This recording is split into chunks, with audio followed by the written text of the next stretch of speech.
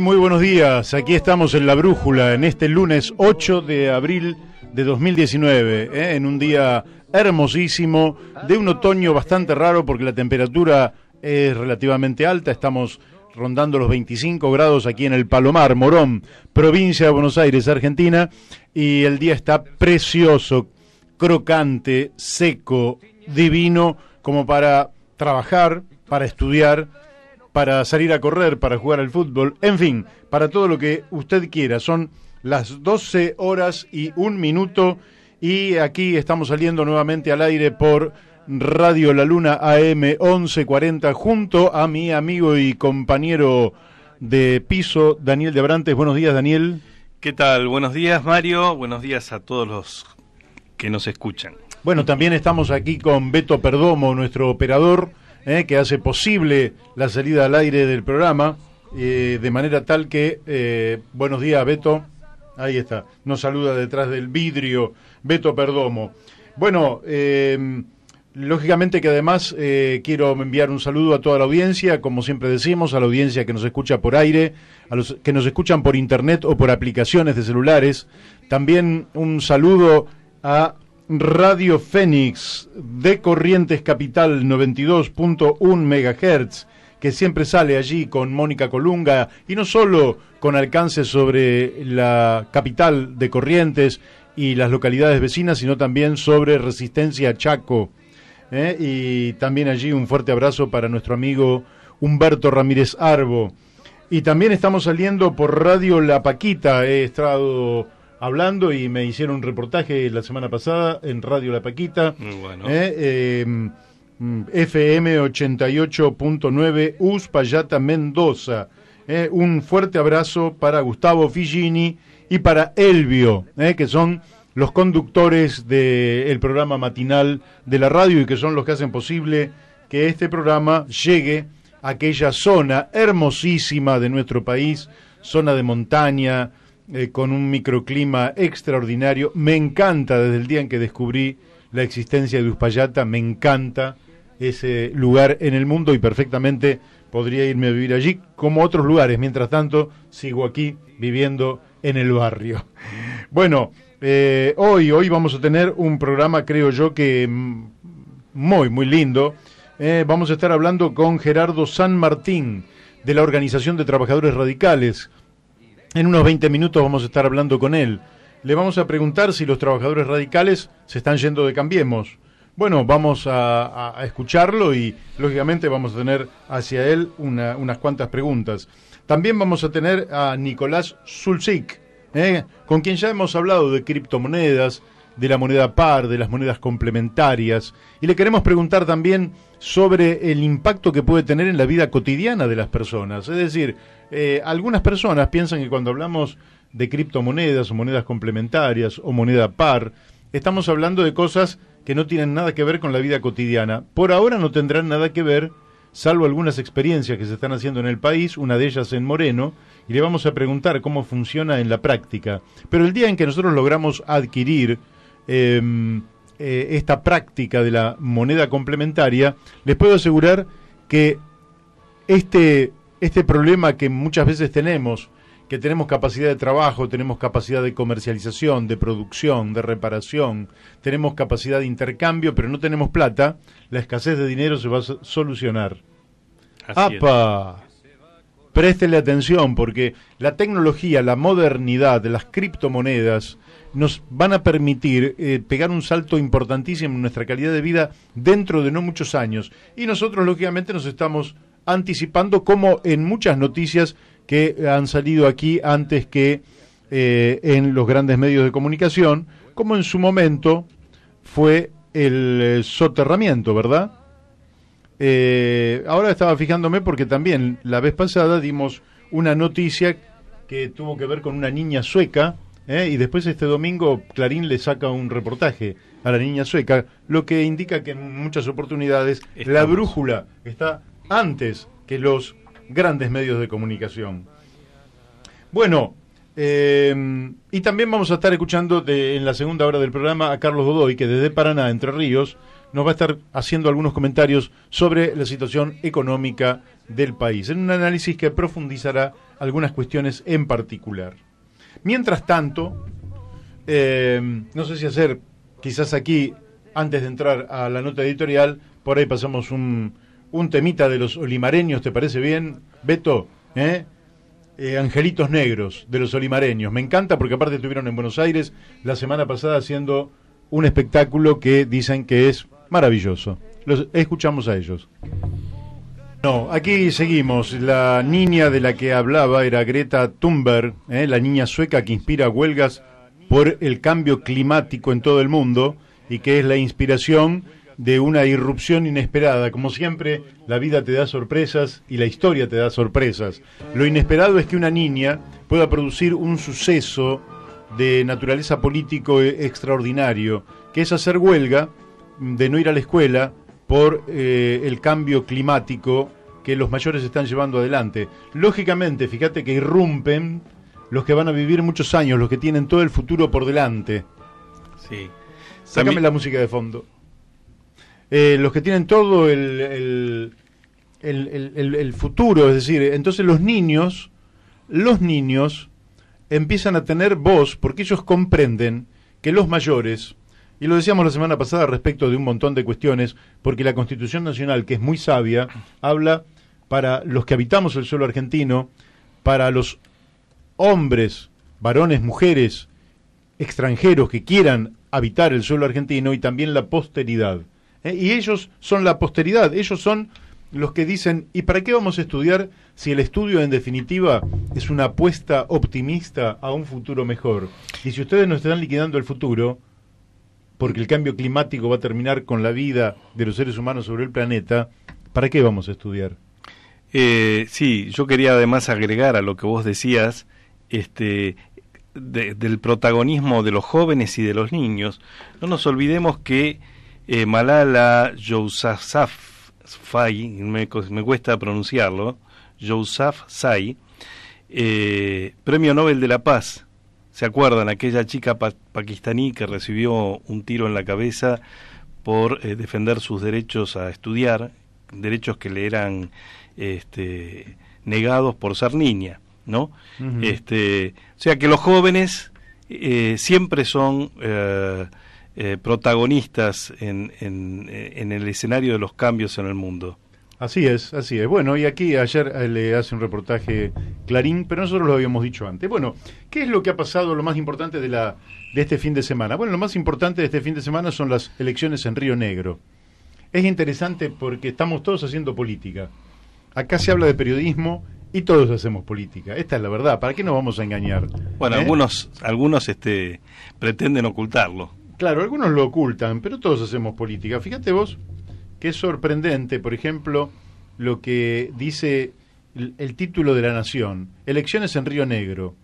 Amplia ventaja de la oficialista Arabela Carreras sobre el kirchnerismo. Este título es, tendrían que decir, del oficialismo local. Por supuesto. no dicen no, que... eh, son elecciones en Río Negro. Amplia ventaja de la oficialista Arabela Carreras. Entonces parece oficialista, podría ser el gobierno. Además el gobierno dice estamos satisfechos. Parece que hubiera ganado el gobierno.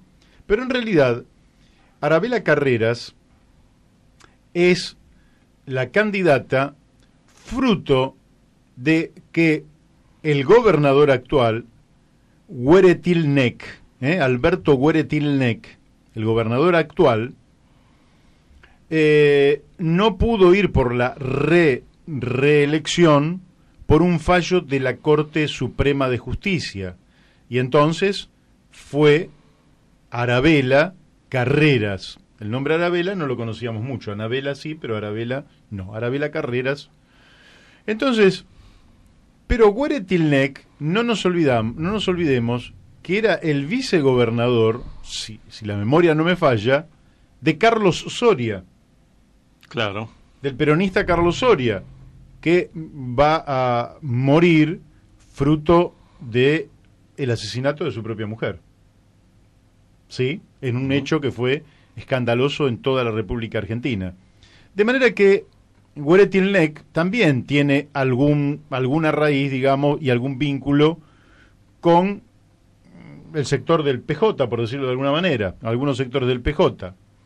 Ellos lo que hicieron en Río Negro es crear un partido local de Río Negro que se llama Juntos Somos Río Negro.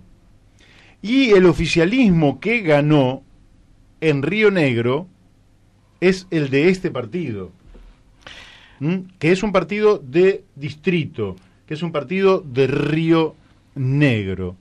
La candidata de Cambiemos, Cambiemos, Gobierno Nacional, Mauricio Macri, Marcos Peña, etcétera, Lorena Madsen, sacó un 5%. Pero en el título, permíteme que cierre esto, en el título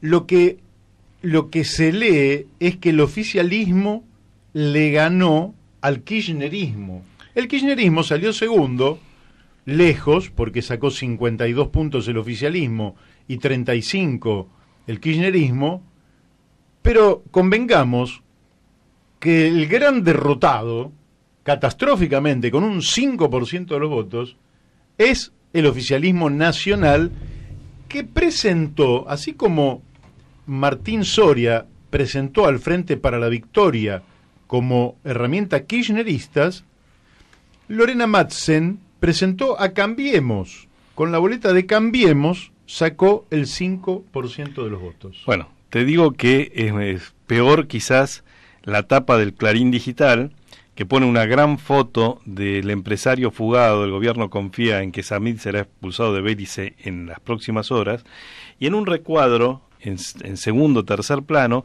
elección de Río Negro. Macri se subió al triunfo de una fuerza local y festejó la derrota acá. Bueno, eh, lo importante no es lo que, a ver, esto que yo estoy diciendo de la nación, me parece bien. La nación tiene que decir, nosotros defendemos al gobierno de Macri, creemos en el gobierno de Macri, admiramos, lo apoyamos, lo votamos, perfecto. Lo tendrían que decir y desde ahí tratar de no jugar como periodismo independiente. ¿Eh? Quien googlee Mario Masitelli o Daniel de Abrante saben que somos socialistas. Nuestra mirada tiene que ver con la larga tradición socialista de la Argentina que nace, yo diría, en la Revolución de Mayo o antes de la Revolución de Mayo con Manuel Belgrano a fines del siglo XVIII que sigue con Esteban Echeverría, Juan B. Justo, Palacios, eh, hasta nuestros días. Perfecto, no lo ocultamos. Ahora, los medios que se dicen eh, independientes en realidad juegan muy fuerte. Hay una nota interesante que recomendamos para su lectura de el diario Perfil, firmada por Jorge Fontevecchia, que dice Endorsemen, ¿por qué promuevo la tercera vía? Y explica que los grandes diarios de Estados Unidos, el Washington Post, el, New York Times y otros grandes diarios de Estados Unidos, eh, seis meses antes de cada elección presidencial, hacen explícito su apoyo al candidato que consideran eh, el mejor para esa situación del país. Esto le da transparencia a la línea editorial de, cada diario, más allá de que en, en cada diario podrá haber quien escriba eh, sus opiniones y que no sean las mismas. Esto mismo ocurre este fin de semana en Perfil, donde hay otro periodista que le, este, le contesta a Jorge Fontevecchia que levanta la necesidad de la tercera vía y el nombre de Labaña como alternativa a la superación de la grieta en la Argentina. Bien, bueno, pero ya vemos que las elecciones en Río Negro eh, muestran una caída estrepitosa eh, del oficialismo, porque eh, que, que, quien lleva la figura de Mauricio Macri, del gobierno nacional, saque apenas cinco votos, está hablando, no quiere decir, porque es una elección provincial, quiere decir que quien sacó el 52% habrá sacado votos de todos lados, ¿verdad? de, todas las corrientes nacionales, pero lo, único cierto es que se mantuvo en apenas el 5%. El otro tema es Chubut. Claro. Es Chubut, donde también hubo, pero ahí primarias abiertas, simultáneas y obligatorias. Y para decirlo en grandes números, el gobernador de Chubut, Mariano Arcioni, que es amigo de Massa y, que estaría por el lado de Alternativa Federal, sacó el 31,84% de los votos. ¿eh?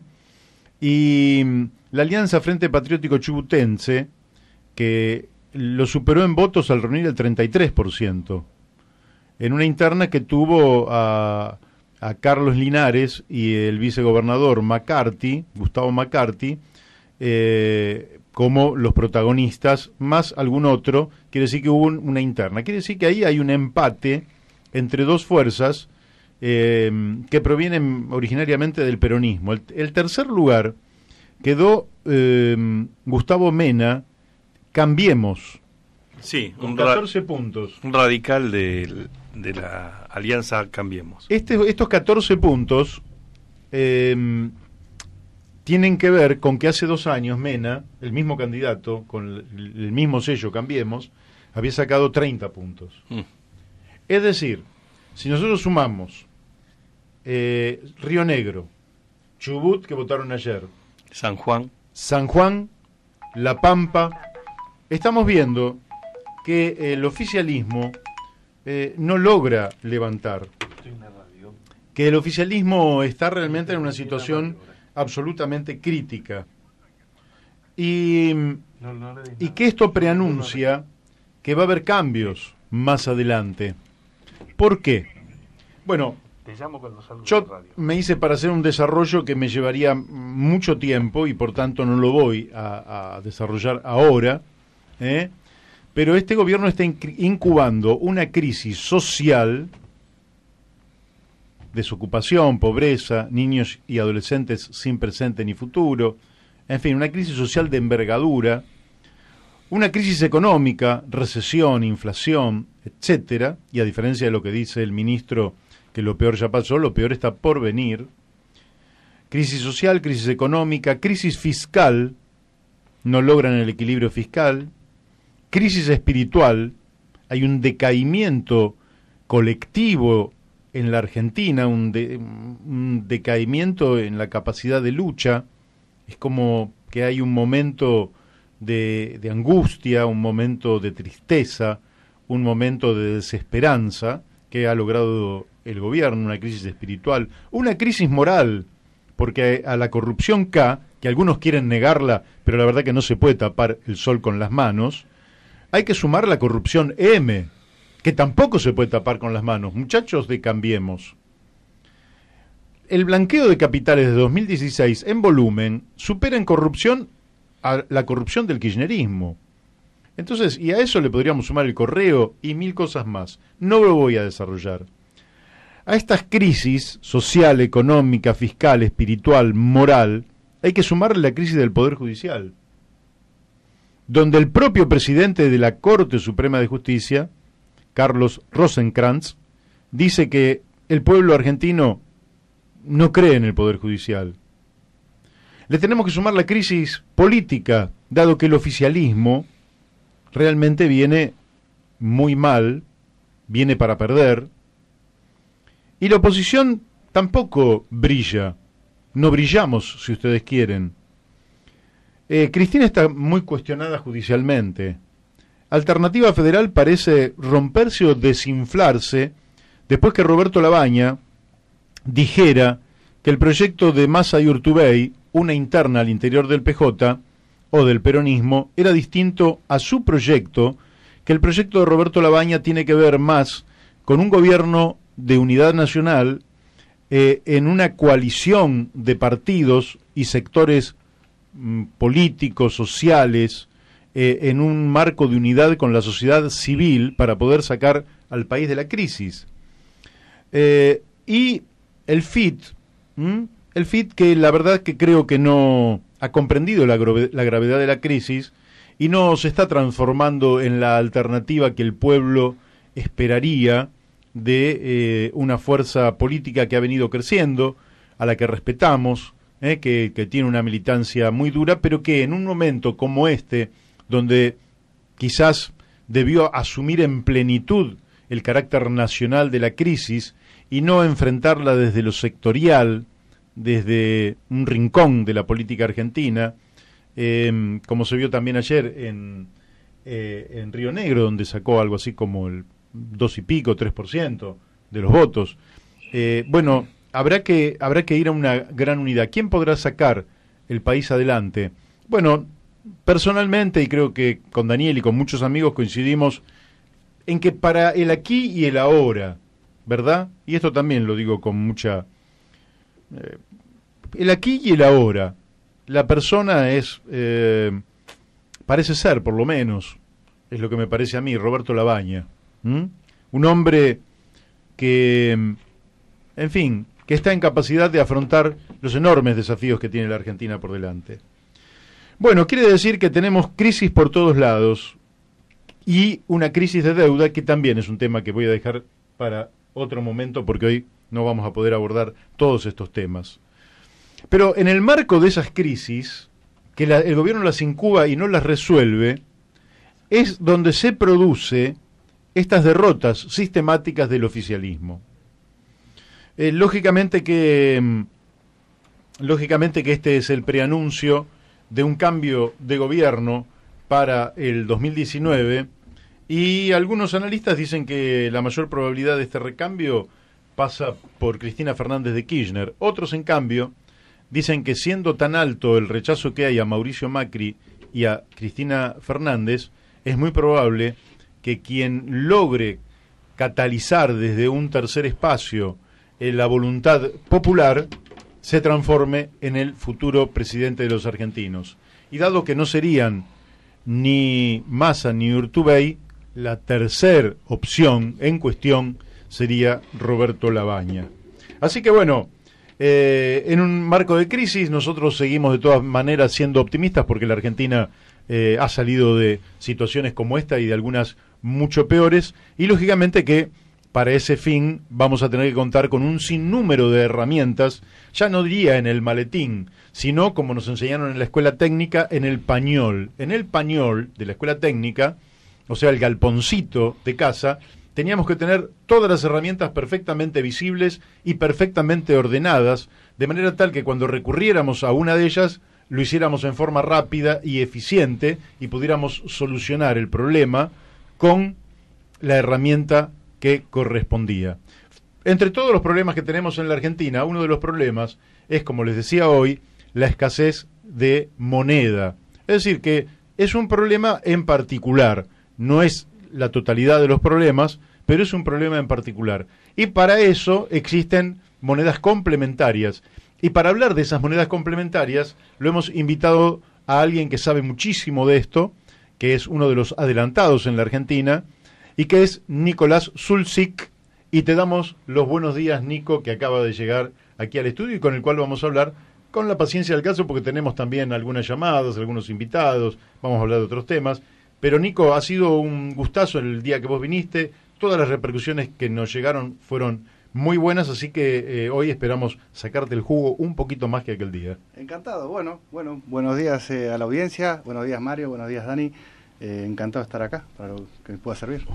Bien, bárbaro. Bienvenido. No, vas a servir porque este en principio te pediría, y quizás ahora mismo nos estén interrumpiendo, pero que le digas a la gente qué, de qué estamos hablando cuando hablamos, para que observemos el objeto de, de análisis, de estudio cuando hablamos de monedas complementarias o criptomonedas, eh, eh, en fin, decinos qué, de qué se trata eso. Bueno, por ahí iría un poquito antes, definiría qué es la moneda.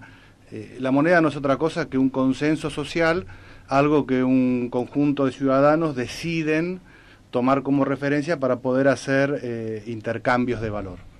Eh, ahora, eso se puede, históricamente se ha hecho de muchas formas, que se usó la sal, se usaron este, conchas de mar, se usaron el oro, la plata, eh, y cada uno tuvo una historia de por qué se usó o por qué se prefería un sistema u otro.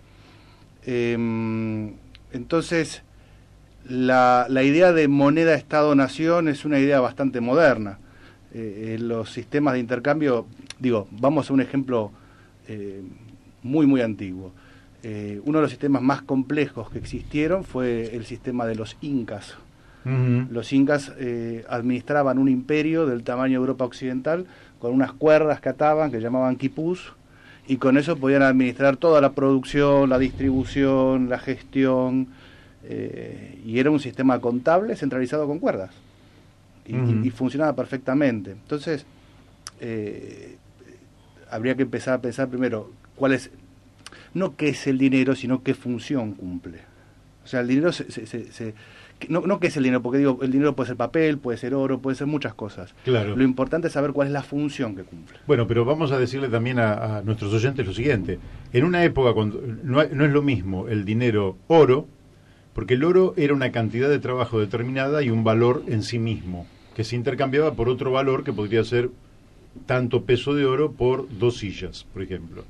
En cambio, el papel moneda moderno, el que usamos todos los días, en sí mismo no tiene ningún valor, es un papel pintado. Correcto. ¿eh? Entonces es un papel fiduciario, tenemos fe en él, es decir, confiamos en que el Estado que emite ese papel, bueno, lo hace en cantidades mm, suficientes y necesarias como para facilitar los intercambios en él, por ejemplo, en la nación, o en su momento en la provincia de Buenos Aires, cuando salieron los patacones, o a nivel internacional cuando hablamos de monedas como los dólares o el yuan, ¿eh? que va a tener algún respaldo. Ahora, que cuando se viene que son los derechos especiales de giro. bueno, perfecto. Ahora, quiere decir que la moneda eh, fiduciaria es un acto de fe, pero podría no ser en papel. Bueno, mira, te voy a tomar, vos dijiste antes lo del oro, porque digo, es muy... a- digo, a mí me costó desarmar la historia del oro, me costó un montón en mi cabeza, porque es como que es- son miles de años que estamos diciendo que el oro tiene valor. Vos estabas hablando, eh, la moneda fiduciaria es un acto de fe. Entonces, ¿por qué se usaba el oro? ¿Por qué el oro no es fiduciario? Es porque no necesito fe, no necesito confianza para saber que ese, esa cantidad de oro vale. ¿Y por qué? Y porque yo sé que si vos querés imprimirte vos o falsificar, tenés que hacer mucho trabajo para conseguir oro. Entonces vos lo que tenés es un registro de, de- de, digamos, contable, porque eh, ¿qué significa el oro? Significa que si yo tengo un gramo de oro, la sociedad me debe a mí el equivalente a un gramo de oro en bienes y servicios. Eh, ahora, vos te vas con ese gramo de oro a, a una tribu del Amazonas que nunca vieron el oro y se te cagan de risa. Porque no está en, no está en su cultura eso. Entonces, realmente, es- lo, lo primero a entender es que tiene valor solamente en la cabeza de la cultura que lo acepta. Por eso, cuando vieron los españoles acá, los indios no entendían por qué se volvían tan locos con el oro. Es más, creo que Cortés le, le contesta a un indio que le dice, pero ¿por qué ustedes están tan locos por el oro? Y el tipo le dice, porque es un mal que tenemos en el corazón que solo, acusa- que solo se cura con ello. Mm. Sí. Entonces, eh, cu- ¿cuál es la función que tiene el oro? Justamente la escasez. Ese es el elemento. La escasez y otra cosa importante que, que, hay que hay que ponerse en el contexto de la época. Probablemente era lo único que no se oxidaba. Sí. Efectivamente, no se deterioraba como la sal, por ejemplo. Entonces vos podías, pero la sal tenía otra ventaja. La sal sí te- tenía una ventaja de uso. Porque la, la sal era la heladera de la época, era donde vos conservabas las carnes, donde vos era era entonces era era eh, tenía una utilidad que entonces la gente ¿cuál es la, la- la función de la moneda? Que si vos me vas a dar algo que yo sé que lo puedo usar porque se lo puedo cambiar a otra persona por otra cosa, algo que todos necesitamos. Entonces, eh, la definición de dinero creo que tiene que ir por su función. Porque podría ser, qué sé yo, digo, materiales escasos como el oro hay muchos. Lo que pasa es que el oro fue el, el que surgió, históricamente se fue, fue, se fue dando. Y se fue universalizando. Correcto. Y digámoslo los más jóvenes, porque eh, y vos estás entre los jóvenes también. El oro fue la, fue la clave de referencia eh, para el comercio mundial durante muchas décadas, hasta, hasta incluso después de la Segunda Guerra Mundial, donde en los acuerdos de Bretton Woods se estableció como moneda de intercambio internacional el dólar, eh, porque había ganado la guerra Estados Unidos, claramente era la mitad del PBI mundial Estados Unidos en aquel momento, y ese dólar que emitía los Estados Unidos para que no pudiera emitirlo en forma irresponsable iba a estar respaldado en oro. Hasta que en el año 1969 el general de Gaulle, que en ese momento ejercía la primera magistratura de Francia, le dijo a Estados Unidos que él tenía unos dólares y que pretendía que le transfirieran el oro correspondiente. Correcto. A lo cual, dos años Eh. después, Richard Nixon, en la presidencia de los Estados Unidos, dijo, es- declaramos la inconvertibilidad del dólar en oro y entonces solo hay papel pintado. Vos sabés que yo el otro día leí una historia, no sé si será verdad o no, pero, pero suena muy verosímil. Em, cuando, ¿Por qué se impone el dólar patrón oro en el mundo? Se impuso por, por las dos bombas, la Hiroshima y Nagasaki. Porque el que había ganado realmente la Segunda Guerra Mundial habían sido los, los, los rusos, son los que entraron en Berlín. O sea, ellos son los que entraron con la banderita primero. Entonces, los americanos le empiezan a tirar, dicen, bueno, acá tenemos que decir que mandamos nosotros, porque la guerra ya está acabada, lo, de, Japón era un trámite. y entonces le tiran una bomba a Japón, y Japón no se rinde con Hiroshima. Porque primero, entonces, ¿qué, plantean los japoneses? Decían, digo, no hay mucha diferencia entre lo que me hace una bomba atómica o los 100.000 muertos que tengo con las bombas incendiarias que me están tirando arriba de Tokio. Digo, digo a, nivel numérico no hay mucha diferencia. Los japoneses se rinden cuando le declara la guerra Rusia, porque Rusia ponía en peligro la continuidad del emperador como Dios, como Dios vivo, por el ateísmo. Eso fue lo que obligó a Japón realmente, la entrada de Rusia en la guerra, más que la bomba atómica, pues estos tipos estaban dispuestos a, morir totalmente, pero no a que les maten su Dios. Claro. Sí, sí, es así. Es decir, Estados Unidos tira la bomba para que Japón se rinda ante Estados Unidos y, Japón ve como buen... No, eh, fue un mensaje a Rusia. Sí, también. Le dijeron, muchachos, no es el rublo, es el dólar. Efectivamente, efectivamente, es así.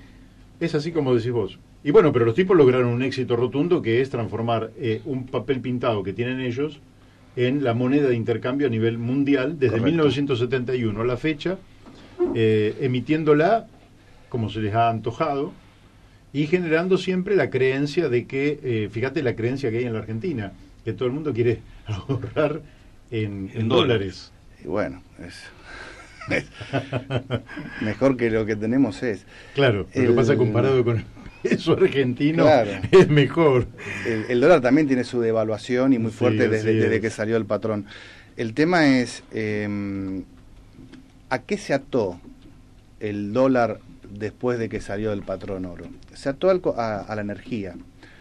Porque en realidad, eh, el, en economía, en realidad todo es energía, es termodinámica, es como cómo cambias un tipo de energía en otra. Te voy a dar un ejemplo. Esto lo explica, yo recomiendo mucho, si la audiencia puede, puede conseguirse los libros de, Harari. Son eh, de, animales a dioses, hay toda una serie de tres libros que son espectaculares. Y, el tipo eh, lo que plantea es que cuando se habla hoy del capitalismo, el, tema de interés compuesto, y que todo eso en realidad existía ya, ya desde, desde Sumeria. Eh, toda esa matemática existía, era muy antigua. De hecho, cuando moría el emperador, todas las cuentas de todo el mundo volvían a cero. O sea, si yo, por ejemplo, era deudor tuyo y no te podía pagar, para pagarte era tu esclavo. Y yo me liberaba cuando moría el emperador. Entonces, por eso, muerto el rey, viva el rey. Después eso, con los años, fue pasar, porque si vos tenés interés, interés eternum, terminás con todos a, mano de un solo tipo. Con los años, eso fue el famoso jubileo cristiano, que estaban entonces se perdonaban todas las deudas que el jubileo, que, y después se olvidaron, después las deudas siguen. Em, y, ¿Y qué pasaba? Ese es el famoso y perdónanos nuestras deudas así como nosotros perdonamos Yo creo que viene a nuestros deudores. Creo que viene de ahí. Lo que pasa es que después que no, no, son las deudas morales. No, no, es la de la viva. Es la viva. Entonces, porque en un momento vos tenés que hacer un reseteo a cero cada tanto. La Argentina, bueno, necesita uno. Yo me acuerdo en, una, en, una vuelta a Perón le preguntaban sobre, sobre esto y que yo, y él cuenta una anécdota que, le preguntaban, ¿no? Como qué era el dinero o el sistema monetario. Entonces le dice a... ¿Cómo era el que tenía el primer ministro de Economía? Miranda. Dice, Miranda, explíquele a, los muchachos. Como dice, mire, este es muy simple. Es como cuando usted va a la plaza a jugar a las bolitas. Y hay uno que es muy bueno. Y una vez que le ganó a todas las bolitas, el tipo se aburre porque quiere seguir jugando. Entonces, ¿qué hace? Se le presta nuevo la bolita a los demás para poder seguir jugando. Porque el, problema del juego es cuando se te acaba. Entonces, eh, el gran problema que había en la termodinámica, que, se suele decir que el capitalismo es, eh, o sea, lo, que se dice, el mundo moderno fue desarrollado por el capitalismo, bla, bla, bla, bla, bla. En realidad lo que hubo fue una, una revolución combinada con eso, pero científico-técnica, que se descubrieron eh, cómo convertir un tipo de energía en otra. Por ejemplo, uno sabía cómo usar el viento para mover una máquina, pero no sabía cómo usar el viento para convertirlo en calor, para una forja. ¿Se entiende? O sea, lo que no existe. Entonces, la única máquina que podía convertir un tipo de energía en otra era el animal, el caballo. De ahí viene el caballo fuerte. o el caballo vapor. Cuando uno, cuando, se descubre eso, vos lo que tenés es de repente un aumento de la productividad fenomenal, porque vos tenés un acceso a una cantidad de energía que te permite crecer de una manera exponencial la producción, pero te encontrabas con un problema, no te, no te acompañaba el numerario, que era el oro. Y ese fue la gran concentración capitalista del siglo XIX. ¿Qué pasa con De Gaulle? De Gaulle se encontraba que él tenía restringida su, emisión, él tenía digamos un uno a uno con respecto al dólar. Entonces el tipo no tenía capacidad de emitir. ¿Y qué es lo que hizo De Gaulle? Para escapar de esa trampa. El tipo lo que hace es, usó las cajas de ahorro postal, los sellos. Porque todo el mundo usaba sellos, porque todo, no había email, WhatsApp para los más jóvenes, no existe eso. Eh, la gente se mandaba cartas antes, a mano, y tenían que usar sellos. Entonces, como es el secreto para que una moneda complementaria funcione, es que todo el mundo la acepte para algo. Así es. Y el sello era una moneda complementaria. Exacto. Y con eso reactivaron la economía, con las cajas de ahorro postal y demás. Empezaron. Que de hecho, otro que hace mucho cosas muy parecidas acá son los, los, A en San Luis. Ajá. Usan la caja de ahorro. Y, por ejemplo, yo me acuerdo en la época del CEPO, los A te sacaban la caja de ahorro postal, que era el dólar, como si fuera el dólar blue. Muy gracioso. Pues los tipos perdieron, en San Luis perdieron el banco hace años, que se lo quedó el Superville. Entonces, eh, el Banco Provincial. Entonces, ¿qué hicieron? Se crearon dentro de la parte que ellos tienen de lotería y apuestas y qué sé yo, una entidad financiera que me acuerdo que día estaba leyendo el papel y decía, eh, eh, puede hacer todo lo que la ley no prohíba. Entonces, ese es el alcance de la, de la... Y con eso ellos este, se financian la provincia usando la caja de ahorro postal. Es muy gracioso. No, los tipos la, tienen clara. Conocen estas historias, ellos saben mucho de esto. Y mm, entonces, la termodinámica te generó este aumento enorme de producción con concentración monetaria. Viene la crisis del 73, que es cuando sale Estados Unidos del patrón oro por, porque Francia le dice, dadme mi oro.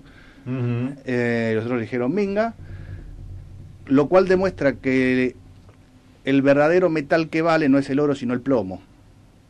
El plomo de las balas. Claro. Porque vos con plomo conseguís oro. Anda a sacarle a Estados Unidos su oro. Sí, claro. Imposible. aunque sea una falacia, aunque sea una mentira. Pero esa mentira está guardada con plomo que es de verdad.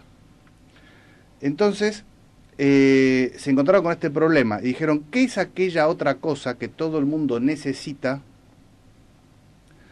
eh, a la cual podemos atar el dólar? y ahí el petróleo, el petróleo. Por eso el famoso petróleo. Eso es lo que hoy, hoy el, el oro negro. Por eso oro negro. Eso es lo que hoy está manejando el mundo. El Saddam Hussein estaba todo bien con él, que yo, bueno, Limar tenía hasta, hasta, que un día dijo, voy a vender mi, mi petróleo en euros. Al día siguiente, invasión, termina colgado. Gaddafi, un tipo que empezó muy bien, se terminó degenerando, quedó hecho un chanta, no importa, está todo bien, no pasa nada. Ahora voy a vender mi gas en oro, terminó ametrallado dentro de un taxi. Claro. ¿Por qué? Porque esto me lo explicó hace mucho tiempo un, un, comisario. ¿Y, tendrá algo que ver con lo que está pasando en Venezuela? Claro, totalmente. Claro. Sí, sí, lógicamente todo lo que desafíe la hegemonía eh, va a, ser eh, demonizado, eh, porque lógicamente transgrede lo que es la situación de dominio por parte de una potencia, de un grupo, o de lo que fuera. Esto está estudiado desde hace por lo menos varios miles de años, desde la Grecia antigua, donde estaba el tema de Atenas y Esparta, ¿verdad? Entonces, lógicamente, hay un orden existente, ese orden existente empieza a tambalear, empiezan a emerger otros órdenes alternativos, y frente a ese orden alternativo lo que busca el imperio es demonizarlo y tratar de liquidarlo. Como el tema de la moneda es una cuestión central, no es una cuestión marginal, porque, eh, Nico, vos lo sabes mejor que nosotros, los mecanismos de dominación terminan en la violencia, pero antes de llegar a la violencia, tenés organismos financieros internacionales que te buscan imponerte la voluntad, como está ocurriendo ahora con el Fondo Monetario Internacional y la Argentina, que el fondo te, condiciona. ¿Pero no era que este era un fondo bueno? No, no, no, es el mismo fondo de siempre. Antes, antes, de, antes de la guerra y antes de los organismos financieros internacionales, tenés el mercado, al cual también se le rinde pleitesía como si fuera un dios y te tiende a subordinar. Pero antes que todo eso está el ordenamiento financiero, es decir, el mecanismo de las finanzas es a partir del cual se produce eh, la dominación. Y, y, es lógico que por eso se disputan hoy la irrupción de China con el yuan, es una disputa de poder, como lo fue ayer el euro, ¿eh? como lo pudo haber sido el yen japonés. Y en alguna medida, entiendo yo, y esto explícamelo, y después te voy a pedir que voy a tener que hacer un montón de saludos porque sí, muchísima gente que nos saludó y quiero agradecerles. Eh, después desearía que no, nos dijeras si esto, estas monedas complementarias, esta idea ah. que vos traes respecto de por qué funciona y cómo funciona, y cómo fuiste a, lo, a los orígenes, también es una forma de desafío al orden existente, y si ese desafío no va a hacer que también se demonicen y se descalifiquen estas monedas que están naciendo. Sí y no. Dale. O sea, si estuviéramos en una época normal, te diría que sí, se va a demonizar. Y Lo que pasa es que hoy está todo tan enquilombado. Hoy es un lío, porque no es un lío Argentina, está en un lío el mundo. Uh -huh. Que puede pasar cualquier cosa. Entonces, por ahí esta es la oportunidad de que están todos distraídos en otra cosa, de que...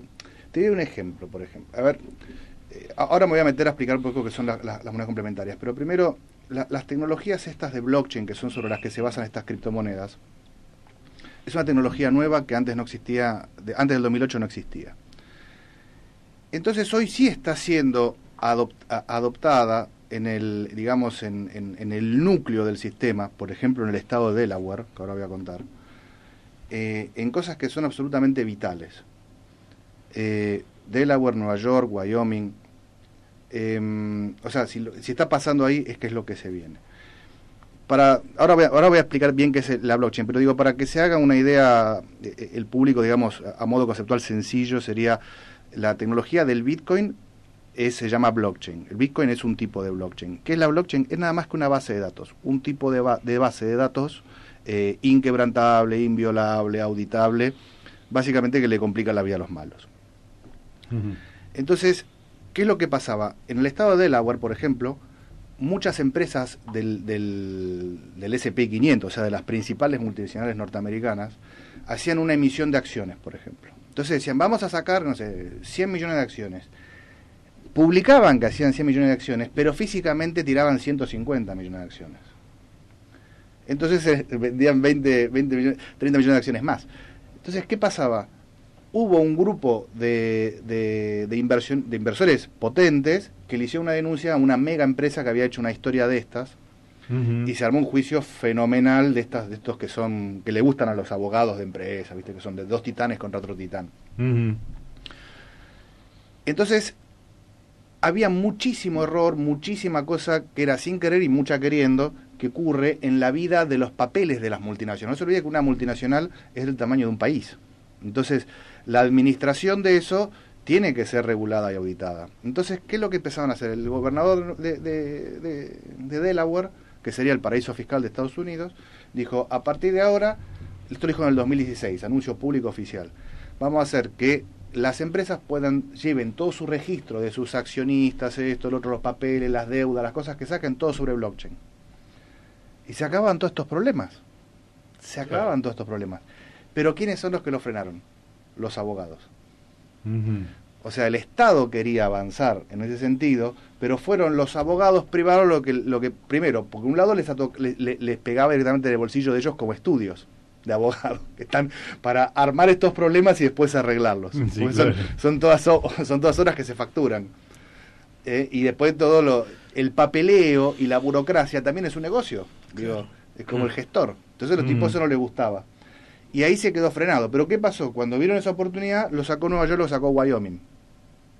Porque tenían un lobby menos importante de abogados de, de estas grandes empresas. O sea que la contabilidad se empezaba a llevar con esta tecnología. Se propuso en Delaware y los abogados de Delaware, que son un consejo muy grande, dijeron no, no, no, no, no. ¿Por qué? Porque se les acaba la joda. Y también los contratos, en definitiva, claro. terminan siendo... Bueno, los primeros que pierden acá son todos los, los, los escribanos. Claro. Claro. Los escribanos son los primeros. Ya no hay que dar fe de nada, está ahí. Porque la fe está en la, en la, en la propia criptografía. O sea, es la fuente de verdad. Entonces, esto, ahora sí vamos a, las monedas complementarias y la cripto.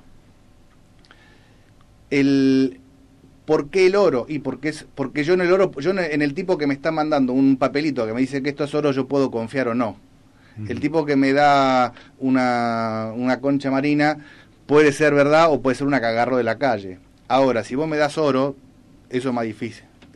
Sí, lo tenés que morder, lo tenés que probar, pero digamos, si está todo correcto, eh, eh, eso es muy difícil que vos lo hayas trucheado. Sí, claro. O sea, todavía no se descubrió cómo convertir el, plomo en oro. Entonces lo mismo le pasa a estas tecnologías de monedas. Entonces, las, las monedas complementarias son monedas locales.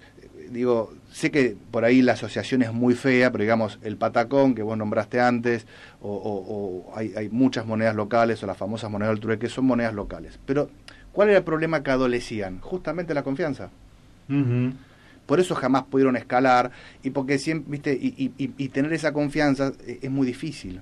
Ahora, cuando vos tenés un sistema como el de la blockchain, donde la confianza es nativa en el sistema, porque está resguardada, digo, sería muy largo explicar acá, pero, pero ténganme fe, eh, es así, es una tecnología probada ya hace más de 10 años, en el, en el far west de la tecnología, o sea, le han hecho de todo y no la pueden romper.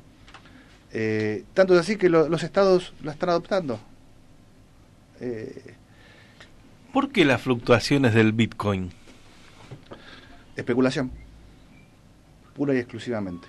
Yo por, yo, por ejemplo, a mí me encanta el Bitcoin como tecnología y demostración de que algo es posible.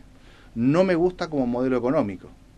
Eso es como decir, eh, che, la, la aviación comenzó, comenzó con el avión de los con el vuelo de los hermanos Wright. ¿Vos te subirías a ese avión? Ni loco, en 50 metros me la voy a pegar. Lo mismo para mí es lo mismo el Bitcoin. Es, abrió, sacó el genio de la botella que no va a volver a entrar. Ahora, yo no me subo arriba de ese avión. ¿Por qué? Porque para mí no es más que la manifestación más palpable de la locura humana que le da valor a algo que no tiene valor, como el oro que el oro, de última, el oro sí tiene un valor industrial, sirve para hacer los empastes de la muela, qué sé yo, algunos circuitos electrónicos, tiene valor industrial. Pero el valor industrial es mucho menor que el precio que tiene hoy como moneda de reserva. Yo creo que es lo mismo con el, con el Bitcoin y, creo que es inclusive peor que el oro, porque ni siquiera tiene otro valor útil más allá de la propia especulación. Ahora, la tecnología, me saco el sombrero, estos tipos nos han abierto un mundo nuevo. Sí, claro. Bueno, pero se veía venir porque la electrónica viene viene este, avanzando a pasos agigantados. Te hago una pregunta, ¿te vas a quedar en la segunda hora del programa? Sí, sí, sí, me si, te, si, te, si, te, quedas en la segunda hora del programa, tengo una serie de compromisos que resolver y las resolvemos ahora. ¿eh? Eh, que es una cantidad de gente que entre ayer y hoy mm, nos han saludado por el programa y bueno, eh, algunos de Mar del Plata, que ya los vi, empiezo, empiezo por esa, por Mar del Plata, porque es una ciudad que me encanta, me gusta, y voy a empezar por Pablo Aceto, Eduardo Romanini, Gabriela Papañi, eh, a todos un, fuerte abrazo. Eh, Irene, que está en Uruguay, Schofer, eh, Fernando, que ahí me, manda una manito que está escuchando el programa. Sí, tenemos que cumplir algunos cumplidos. Hoy, Laura, mi señora, cumple años. Y entonces Felicitaciones para Laura. No puedo dejar. Feliz cumpleaños, Laura. Feliz, feliz cumpleaños, ¿eh? Eh, bueno, también lo, Carlos Russo de Mendoza, que me mandó eh, un escrito de las asambleas por el agua pura, que lo voy a leer, si me da el tiempo, creo que sí. Eh, también un abrazo para Oscar Gómez Cutric, de Chacabuco, provincia de Buenos Aires.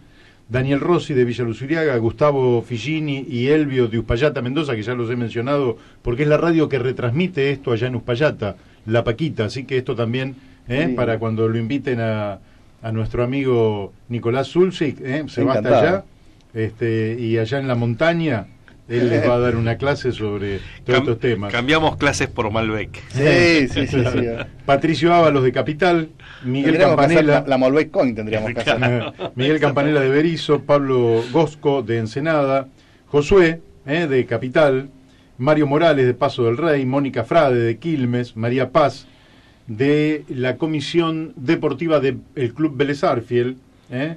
¿eh? bueno, Alfredo Nuin, Jorge Cultri, Gastón Moreno de Merlo. Es Gastón Moreno el apellido, no de Moreno, sino de Merlo.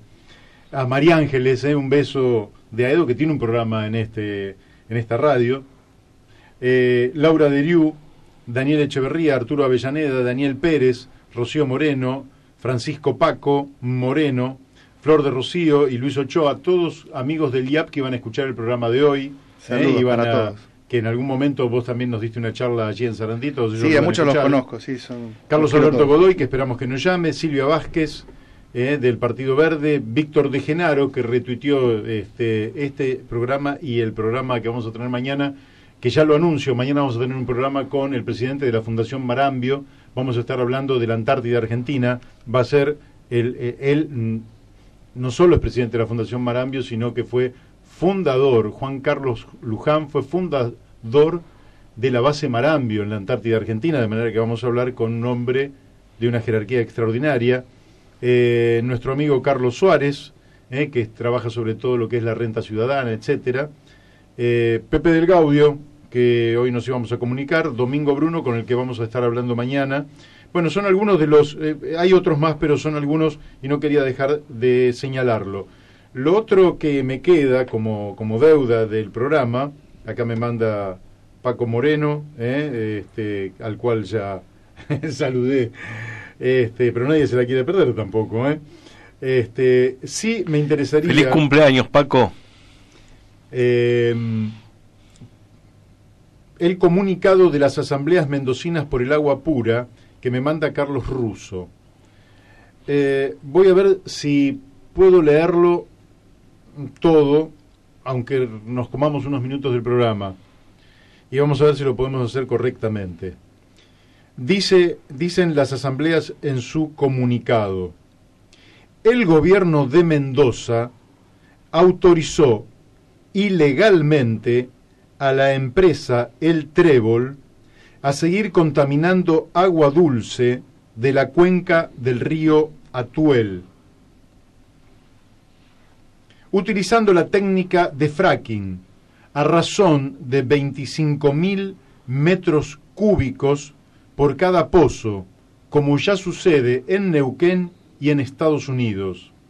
En unos 200 pozos donde el gobierno espera que se llegue a hacer fracking y especula con más de mil pozos a largo plazo. Serán 5 millones de metros cúbicos de agua pura, 5 mil millones de litros de agua pura, contaminada con un cóctel de sustancias tóxicas. Eso equivale al volumen de agua de red que consume el total de la población mendocina durante casi una semana. Peor aún, el uso del fracking a la escala que vienen anunciando el gobierno y petroleras como el Trébol e IPF en Malargüe y en Tupungato contaminará no solo esos volúmenes de agua, también, también pondrá en altísimo riesgo la calidad de todo el caudal del río Atuel y de su acuífero subterráneo, Acuel- Atuel Diamante, así como la cuenca de los ríos Grande, Colorado, impactando sobre las provincias de La Pampa, Río Negro y Buenos Aires, y afluentes del río Tunuyán, afectando aguas abajo, aparte del valle de Uco y toda la zona este de Mendoza. Candidatos a gobernador de Mendoza. Llegó la hora de elegir de qué lado estar. O se está a favor de los proyectos de las corporaciones, empresas y dirigentes políticos pro fracking, pro megaminerías, hidrotóxicos y radioactivos y por lo tanto en contra del pueblo, o se está a favor de todos los mendocinos. Candidatos a gobernador de Mendoza. El proyecto de fracking de Vaca Muerta en Mendoza implicará la devastación irreversible de casi sur de San Rafael y General Alvear, el agotamiento del recurso hídrico de calidad, el deterioro de la salud de la población, el saqueo y degradación de riquezas estratégicas y potenciales que podrían desarrollarse mediante otro tipo de actividades verdaderamente sustentables y productivas. Candidatos a gobernador de Mendoza, si eligen pasar a la historia como verdaderos, verdaderas representantes del pueblo, capaces de jugarse por la vida y el bien común, estamos convencidos de que se jugarán por nuestra ley Mendoza libre de fracking, de las asambleas, presentada hace casi un año ya por el diputado Gustavo Maxtruck. Este proyecto de ley, avalado por 42.851 firmas, es el instrumento que forjamos colectivamente miles de vecinos, utilizando todo el conocimiento científico y social acumulado durante más de 12 años, y serviría para ponerle fin de una buena vez al asedio extractivista de saqueo y contaminación. Candidatos a gobernador de Mendoza, necesitamos prohibir en todo el territorio provincial el fracking, las fumigaciones aéreas y la megaminería, metalífera, hidrotóxica, radioactiva, sin tocar ni una coma de la ley 7722, para poder soñar con otro destino para nuestro territorio, para nuestras y nuestros y para las futuras generaciones. Finalmente, las asambleas mendocinas por el agua pura nos declaramos en alerta máxima y en estado de asamblea y movilización permanente hasta que se trate y apruebe una ley provincial que prohíba el fracking en toda la provincia de Mendoza. Bueno, eh, me había comprometido a leerlo y aquí está eh, esta declaración, este comunicado de las asambleas mendocinas por el agua pura. Vamos a la propaganda de la radio, eh, faltando un minuto y medio para las 13 horas, y después volvemos aquí con Nicolás Zulzik eh, sobre eh, este tema tan interesante que es el tema de las monedas, que todo el tiempo convivimos con las monedas, porque cuando salís sin una moneda en el bolsillo, no tenés ni para el colectivo, Nicolás. Sí, pero por ahí te, lo te, retomo lo de... Porque a mí ese tema de fracking me interesa y mucho. Em, ¿Lo retomamos después de la propaganda? Dale. Por aquí volvemos en la brújula, ¿eh? Y Daniel Pérez me dice que no me olvide del bastón de Norita, ¿eh? Nora Cortiñas, ¿eh? Que está en todos lados. Bueno, después lo vamos a tratar. El, el, bastón eh, que ha perdido Norita un bastón. Bueno, lo vamos a tratar eh, dentro de un ratito. ¿eh? Daniel, no me olvido. Y cualquier cosa me lo volvés a recordar. Seguimos aquí con Daniel de Abrantes, como siempre, y con nuestra visita, que es un verdadero gusto y un, honor, de Nicolás Zulzik. Bueno, andábamos en la... Te había preguntado, Daniel, por el Bitcoin, decías que, bueno, que no era para nada confiable, aunque tenía una tecnología que era confiable, sí, confiable sí, especulativo. Claro. Claro, pero no, digamos que no es para que nadie vaya y, ponga guita. Ponga ahí o cosas por el estilo. No creo que nuestros oyentes estén en capacidad de comprar ni, ni medio Bitcoin.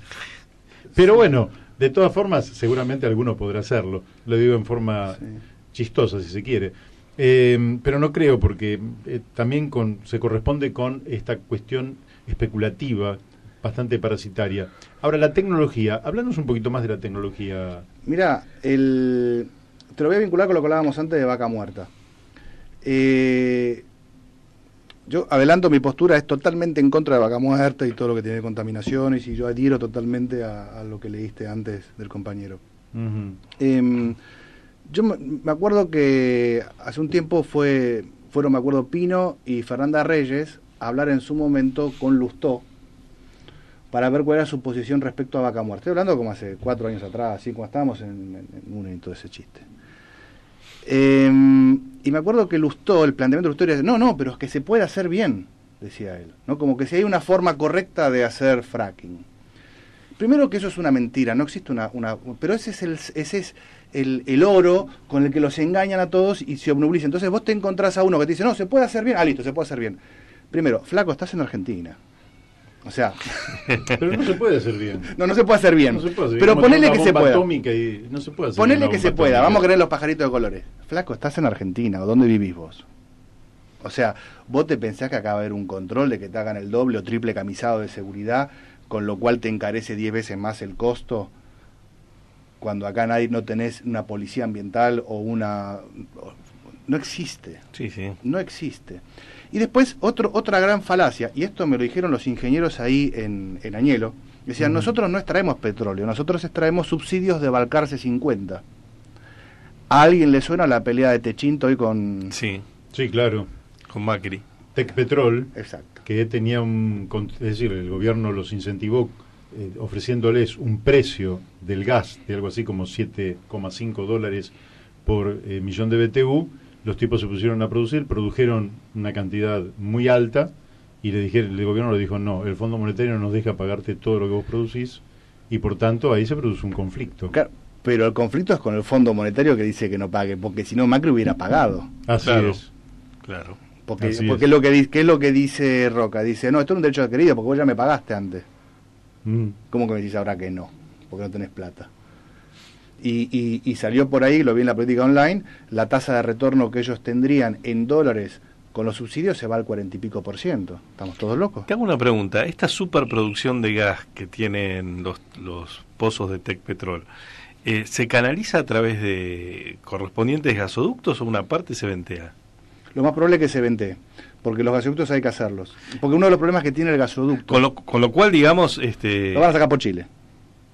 digamos, ¿estamos pagando gas que se ventea? Sí, es así de ridículo. Con un sobreprecio. Es, es, es, un ridículo. Sí, sí. Bueno, es que, es, que, por ejemplo, aparte, digo, esas, esas, eso es, yo diría que ya es delictivo, es para ponerlos en cana. Pero después, además, vos tenés las irracionalidades económicas, donde vos decís, ¿qué, qué es lo que realmente hay que mirar en, cuando uno saca energía o petróleo? Uno no, no tiene que mirar el precio, porque el precio puede ser manipulado. Vos lo tenés que mirar lo que se llama el HEROI, se llama el retorno de la energía en la, re- en la energía invertida. O sea, si yo, si yo, o sea, si yo meto una unidad de energía, invierto una unidad de energía, sacar, Tengo que sacar sacar 3, dos. 4, Claro, 5. sí. Normalmente el petróleo era 51. Mira vos. Hacías un pozo y salía el petróleo. y el Antiguamente, gas. sí, lo- los, viejos pozos IPF o en Estados. Unidos, los, los, los primeros pozos. Siempre, siempre fue más fácil encontrar el, el petróleo más cuando, fácil. cuando llovía el petróleo. El más fácil. A medida que se fue complicando, fuimos bajando. Hoy, el fracking en Estados Unidos está en 2,5, 1,5 a 1. Y, si, y eso con pozos, con toda la tecnología que tienen ellos allá, con todos los sistemas de cañería que tienen, Y que está a, a menos 400 profundidad. metros. Claro. Y sin contar el pasivo ambiental. Bueno, es que ahí está el tema. Como no me rinde, ¿dónde hago yo? El pasivo, yo lo tercerizo. Entonces no tengo control, me das el agua gratis, no hago el camisado, pa, pa, pa, y ahí ya empezamos a tener los primeros derrames, los primeros desastres. Eh, porque todos esos costos que vos tendrías que poner para mitigar esos riesgos no los tenés que poner. Entonces te compensan lo- lo- las 10 veces, digamos, de profundidad. Y después la otra, la, la otra gran mentira que te dicen, no, porque acá en Estados Unidos salen los pozos esos de- del gas que sale el agua y contamina porque está a 400 metros, acá estamos a 4 kilómetros. No, flaco, esto lo para vos es mentira de que no termina de subir. Lo que pasa es que sube 10 años más tarde, porque tiene que, o sea, no es que no, no, no va a, su- a surgir, tarda más, Mi- mientras que en el otro, porque un pozo de fracking te dura 5 años nada más, porque solamente eh, eh, puede sacar hasta donde rompió. Después tienen que levantar el pozo y ponerlo en otro lugar. Por eso es que rompen tanto. y es- Permanentemente. Y, y es tan problemático el tema de la seguridad de los caños, que eso es lo que no hacen. O sea, si ya los caños convencionales de IPF no les hacían tratamiento y contaminaban todo, imagínate estos, que tienen que hacer 10 a 1 a lo que era la- el pozo tradicional. Entonces a vos te dicen, no, estamos, 10 estamos 4 kilómetros abajo. No, flaco, lo que pasa es que vos a los 5 años te vas a ir y el, la mancha y el coso va a salir 3 kilómetros más lejos y dentro de 10 años vas a decir, ah, esto es natural, yo no tuve nada que ver. No tenés a quién poner la responsabilidad. Entonces vos te estás ahorrando todo el costo de tu pasivo ambiental que se lo estás pasando a la sociedad. ¿Para qué? Para hacer gas que se usa para quemar, para hacer electricidad. No hay nada más estúpido que eso. Porque el gas y el petróleo no es el enemigo, es un bien estratégico que tenemos que cuidarlo para nuestros bisnietos. Digámosle a los que nos escuchan que de el total de cuando prendemos la luz, cuando eh, la plancha, el televisor, la heladera, eh, lo que llamamos luz generalmente, ¿no? El, Sí. el La electricidad. 65% viene del gas. Exactamente. ¿eh? Se produce con gas. Exactamente. Y, y el resto viene de Yacireta y, y algunas represas que tenemos del Chocón y otras que tenemos. Y del energía nuclear también. Sí, pero creo que no, no llega ni al 5 la energía. Sí, no. pero, eh, pero bueno, se considera energía como de pasada, porque una central energía, una, una- una nuclear vos la prendiste y la dejaste prendida, no es que la puedes prender apagar, porque tarda como un mes en arrancar. Entonces, es como la es como Yacireta, la prendiste y quedó prendida. Sí. Y vos lo que regulás son las centrales térmicas y las centrales de altura, que son las que cuando vos tenés el pico a las 6, 7 de la tarde, levantás ahí en, en Neuquén, levantás los cosos y, y compensás el pico que tenés, el, la joroba esa que se te genera de consumo. Entonces, vos fíjate qué absurdo. estamos destrozando todo para tener un gas que o lo venteamos o lo usamos para quemarlo para hacer electricidad cuando esa electricidad podría venir de fuentes renovables. Sí. De cercanía y que sea de la gente. ¿Y por qué es importante esto? Antes yo decía que el verdadero valor de la economía es la termodinámica, la capacidad de transformar un tipo de energía en otra, que es lo que, lo que te permite eh, la eficiencia en el trabajo. Una máquina funcionando, eh, una, ¿cuántos hombres representa una, una pala mecánica? Eso es energía que representa, no sé, 30 tipos con pala. Entonces, em, por eso, en lo, que, en lo que ando yo metido ahora, es cómo podemos hacer una moneda que esté respaldada en energía de origen renovable, que tiene que ver con el verdadero fundamento de donde viene la economía, que es la conversión termodinámica. Entonces, Vos se lo habías planteado a Jeremy Rifkin, este tema. Sí, no, yo no, se lo planteó el, el, ojalá. No, estábamos trabajando en un proyecto que ahora se frenó por las elecciones, vamos a esperar el año que viene, en Santa Fe, para hacerlo ahí en Santa Fe lo más probable es que lo terminemos haciendo acá o, en Almirante Brown o, en Berizo, veremos. Estamos ahí viendo dónde podemos eh, avanzar. Em, que es hacer una, una huerta solar eh, colectiva de cercanía. O sea, no, no traer de, de, de, kilómetros, claro, de cercanía. Entonces, hmm. esa huerta es de propiedad de múltiples personas. En este caso, hoy, la ley tal como está en Argentina, solamente los grandes usuarios o las empresas grandes son las que podrían participar. Estamos, una vez que esto funcione, nosotros tenemos estrategias para poder ampliarlo. Ahí está en disputa el Internet de la energía, ¿no? Correcto. Pero nosotros vamos a algo más que eso, porque, por ejemplo, Edenor hoy está haciendo pruebas con los medidores electrónicos. Pues yo estoy hablando con la gente de Siemens con los que estamos trabajando estas cosas. Entonces, han comprado una serie de medidores que ellos lo están poniendo, pero el objetivo de Siemens es otro. El de Siemens, digo, de Denor. El objetivo de Denor no es armar un sistema de independencia energética para la es gente. controlarlo. Exactamente, porque lo que más vale es el dato. Vos fíjate hoy, ¿cuál es el valor de Google o de Facebook y de otras cosas? Ellos lo que hacen con tus datos de los que vos haces por red. Ahora, vos imagínate cuánto valdrían los datos de lo que vos haces con tu electricidad en tu vida física. Ellos pueden saber, un medidor inteligente, un smart meter, puede determinar qué cosas está prendiendo en tu casa. Porque cuando vos prendes un ventilador, genera una frecuencia en la red que puede ser o un televisor, o el microondas, o el cepillo de dientes. Entonces vos imagínate, vos empezás a cruzar los datos. Che, acá hay un tipo de 55 60 años que se levanta dos veces a la noche eh, y que lo que está pidiendo es del baño, qué sé yo, y por internet, este tiene un problema de próstata, le empezamos a meter publicidad de, empezamos a meter publicidad de, cosas para la próstata. Entonces, mm. eh, eso eh, sería lo, menos grave, lo más tonto, lo más grave es que si vamos a un estado de control. Así es. Ayer estuve viendo la película de Snowden. Sí.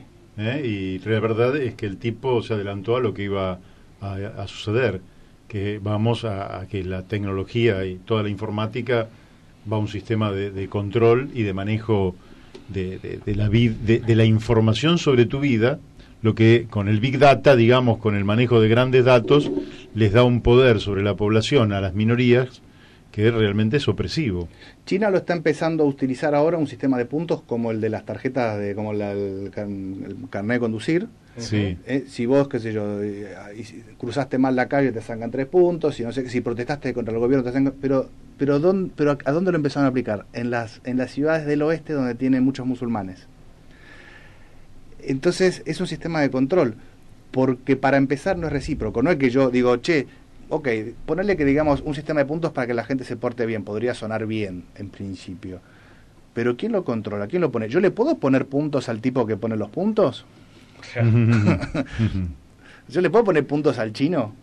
Al, al, mandarín chino ese que tengo ahí arriba y que, me, y que, y que ahora no le gusta lo que yo estoy hablando de él porque la corrupción. Ahora volvamos de, de China a Berizo sí. este, y a las granjas eh, a las granjas de energía solar, ¿no? Sí. Este, contanos un poco más de eso. Y lo que se hace, lo que hacemos es eh, y qué tienen que ver esos con las criptomonedas. Claro, lo que hacemos es imagínate una empresa, ¿ok? Una empresa eh, puede comprar la energía como la viene comprando hasta hoy, que la, no le baja de 80 dólares el mega, pero hoy, por ejemplo, muchas energías renovables están en ese precio y en algunos casos, si son granjas bien desarrolladas, que, en cercanía no se podría llegar a ese precio, pero se va a llegar, podría llegar incluso a menos. Ejemplo, vos tenés hoy en Colombia megaplantas de energía renovable muy grandes que llegan a 25 o 24 dólares el mega, contra 80 que estamos pagando hoy en Argentina con lo que viene del gas. ¿Por qué logran esos precios? Porque tiene una tasa de interés eh, razonable, en fin y, economía de escala. Pero el precio de la renovable, ya desde el 2016, eh, es competitivo. Es competitivo, ya no es más que me voy a la renovable porque quiero salvar los pajaritos. Sino que, y, qué es lo que pasa? ¿Dónde está el punto de quiebre fundamental en esto? Eh, el sector energético veía, estaba analizando lo que estaba pasando en su entorno. Entonces decía, bueno, toda esta irrupción tecnológica le pega a las, a las empresas o los sectores que son de economía intangible. Por ejemplo, le pegan al periodismo. Facebook destruye el periodismo, eh, Netflix destruye el cine, eh, Spotify destruye las discográficas. Pero yo soy petróleo, yo estoy arriba del pozo, acá no, nadie me va a tocar a mí. Y de repente unos tipos empezaron a hacer paneles de re bajo precio. Y claro, ahora cualquier persona se puede poner un panel. ¿Ya puedo poner paneles en el techo de mi casa y abastecerme de energía? Sí, pero no es rentable y es ineficiente y es malo. Eh, y es caro. Em, pero podrá ser. Sí, en poco tiempo podrá ser barato. Claro, pero mira, lo, voy a encender un poquito al pino, que yo sé que tengo mucha gente que lo conoce al pino y, va a saber lo que Dios se va a reír. Eh, pino me venía insistiendo, me decía, quiero poner paneles en mi casa, cuando quiero poner en mi casa, quiero poner en mi casa. Bueno, fantástico. Entonces, un día Pino Solana se está hablando, ¿eh? Porque decir Pino, bueno, no todo el mundo sabe. Pino Solana. Le mandamos un saludo a Pino, que es un amigo de todos nosotros. Pero mi maestro, yo lo amo. es, mi, maestro y lo quiero de verdad. Y, entonces eh, le digo, a ver, Pino, eh, porque él tiene una pileta chiquitita y le tiene que pasar el bichero. Le digo, ¿a vos te molesta tener que pasar el bichero ahí todos los días? Sí, me molesta. Bueno, imagínate tener que subir a tres días al techo a lavar los paneles. No, ni loco. Me porque el panel no es, que, no es que vos lo ponés y te olvidas el panel se llena de polvo y baja un montón el rendimiento. Te cae una caca de pájaro y vos no la limpias. Ahí donde cayó, eh, como no pega el sol, es donde fuga el calor de la resistencia y te hace un agujero y te lo quema. Tenés que cambiar el panel. Mm. No, es una... Por eso hay que estar... O sea, tenés que estarle encima. El panel está divino, pero tenés que estarle encima. Entonces, que no es mucho... Aparte otra cosa, por ejemplo, lo que decía la gente de Santa Fe ellos sacaron un programa que se llama el, programa Prosumidores, está todo muy lindo. Pero el programa Prosumidores es algo sumamente... Eh, eh, ¿cómo se llama? Discriminatorio. Prosumidores que son productores y consumidores al mismo tiempo. Santa Fe lo que dice es lo siguiente, como queremos ayudar a que la gente se ponga los paneles, le vamos a dar un subsidio por dos vías. Por un lado es, te damos un crédito más barato, ellos reciben fondos internacionales yo para, para, para, poder dar créditos más baratos. Y por otro lado, la energía que vos te sobres y la vuelques, te la compro. Te la compro a un precio superior durante X cantidad de tiempo para que vos más o menos en 7 años te pagues el equipo. Y como un equipo dura más o menos 20 años, este, te quedan 13 años más de, energía, digamos, generada gratuitamente para vos. Entonces suena muy bien. Entonces yo le digo, pero eso es discriminatorio. ¿Por qué? Me dicen. Yo, por ejemplo, vivo en departamento y quiero participar de la economía de las renovables. No puedo, porque no tengo dónde ponerlo. Y si tengo una casa, tengo que ser propietario. Porque si vos alquilás, ¿te pondrías una inversión de esa cantidad de plata para recién a partir del año 7 Claro, en el, a tener octavo año tenés los beneficios reales. Claro, es como cuando te pones, cuando vas a alquilar se pone aire acondicionado, olvídate, que gran, acondicionado ahí. Granjas cooperativas, en todo Exactamente. Entonces, ahora, ¿qué es lo que pasa? ¿Cómo sería la mecánica? Yo, por ejemplo, en mi casa, yo en mi casa consumo 200 kilowatt hora mes. Entonces vivo solo. Una casa, una casa familia está en 400, 350, 400. Yo estoy en 200. Entonces, iría y me compraría el equivalente a generación a, dos módulos de 100 kilowatt. Entonces yo vinculo esa generación a mi celular. Entonces lo que esa, lo que, que es una, son unos poquitos paneles de una huerta mucho más grande. Claro o sea, porque una parte son míos, otra son otro vecino, otra parte por ahí más grande será una empresa. O sea, es una propiedad colectiva. Entonces, el pedacito que va generando el mío, lo voy acreditando en mi billetera electrónica. ¿En qué lo acredito? ¿En pesos? ¿En dólares? No, en kilowatt hora. Kilowatt hora. La medida es el kilowatt hora. Y se transforma en una moneda. Y claro, porque una unidad de cambio. Es como que vos tengas eh, dos sacos de soja. Mucho más consistente que, un- que el peso, por Claro, decirlo porque, de alguna manera. porque lo vas a usar. Entonces yo tengo eso. Y por el otro lado, yo tengo mi medidor electrónico inteligente, que en este caso nosotros lo hacemos con un sistema de seguridad para que no se roben los datos, para que, en fin, todo esto que contaba antes de Denor no pueda ocurrir. Entonces vos lo vinculas, y entonces, ¿qué es lo que hace mi celular? Dice, bueno, vos generaste tanto, consumiste tanto, te voy descontando. Esto entiendo que ya se está haciendo en algunos lugares. Esto que estoy haciendo, se hacen cosas parecidas, pero no esto.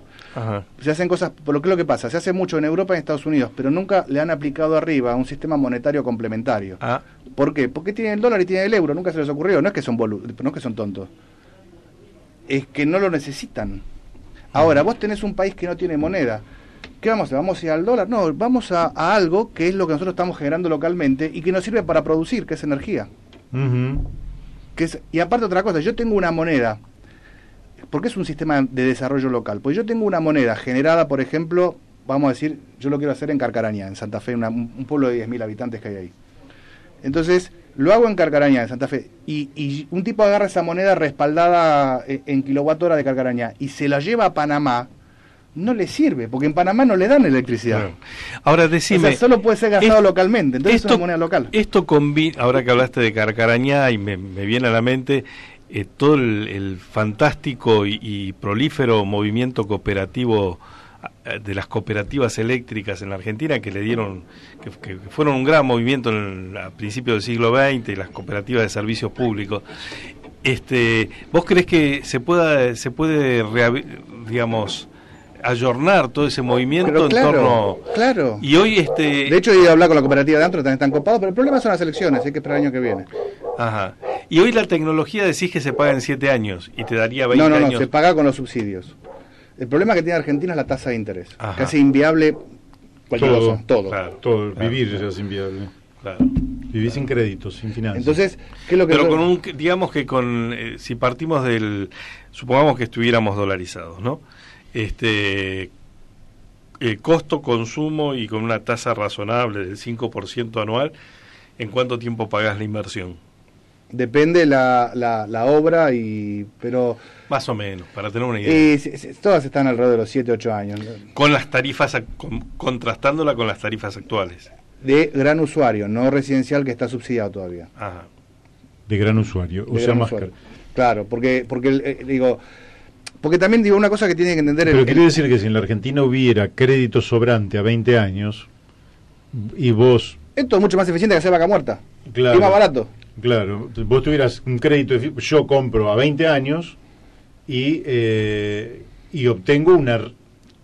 Todos los meses que pago la cuota, pago menos de lo que pagaría O ponerle, que, el o ponerle que pagas igual. o pago igual. O ponele que pagas un 10% más, ponele. Pero, a ver, no es lo mismo alquilar durante 20 años que pagar una hipoteca durante 20 años, porque al final te queda el activo.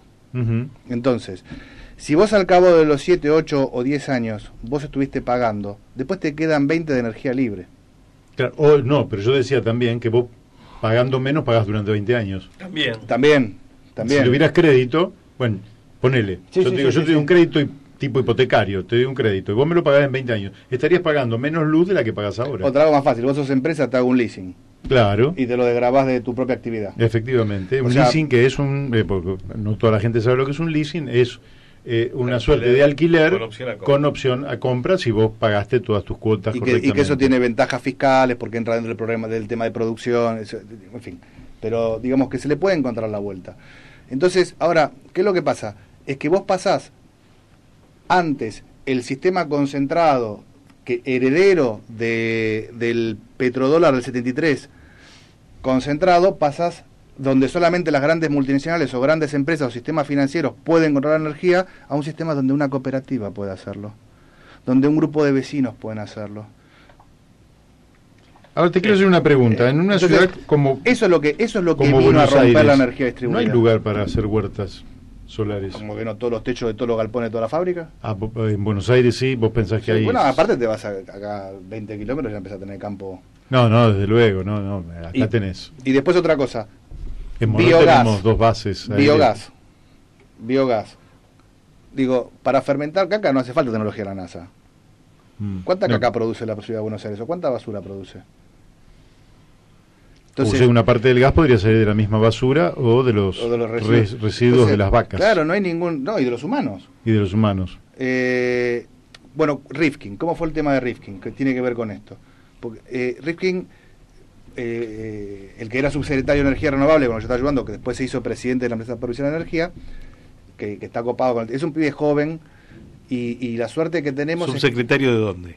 En Santa Fe. Ah, de Santa Fe. Era de Santa Fe, secretario de, era subsecretario de, se entienda. subsecretario de Energía Renovable y después lo hicieron presidente de la EPE. Un pibe joven, es sub 40. Y él... Es del gobierno socialista. porque yo todos estos temas también los hablé con Bonfatti, Antonio Bonfatti, que él está muy interesado en estos temas y va a volver seguramente a ser gobernador. El y como viene la mano, tiene pinta que sí. Sí, sí, porque están, ganando todos los, los, oficialismos distritales, provinciales, están ganando. Así que muy probablemente Antonio sea gobernador socialista de nuevo.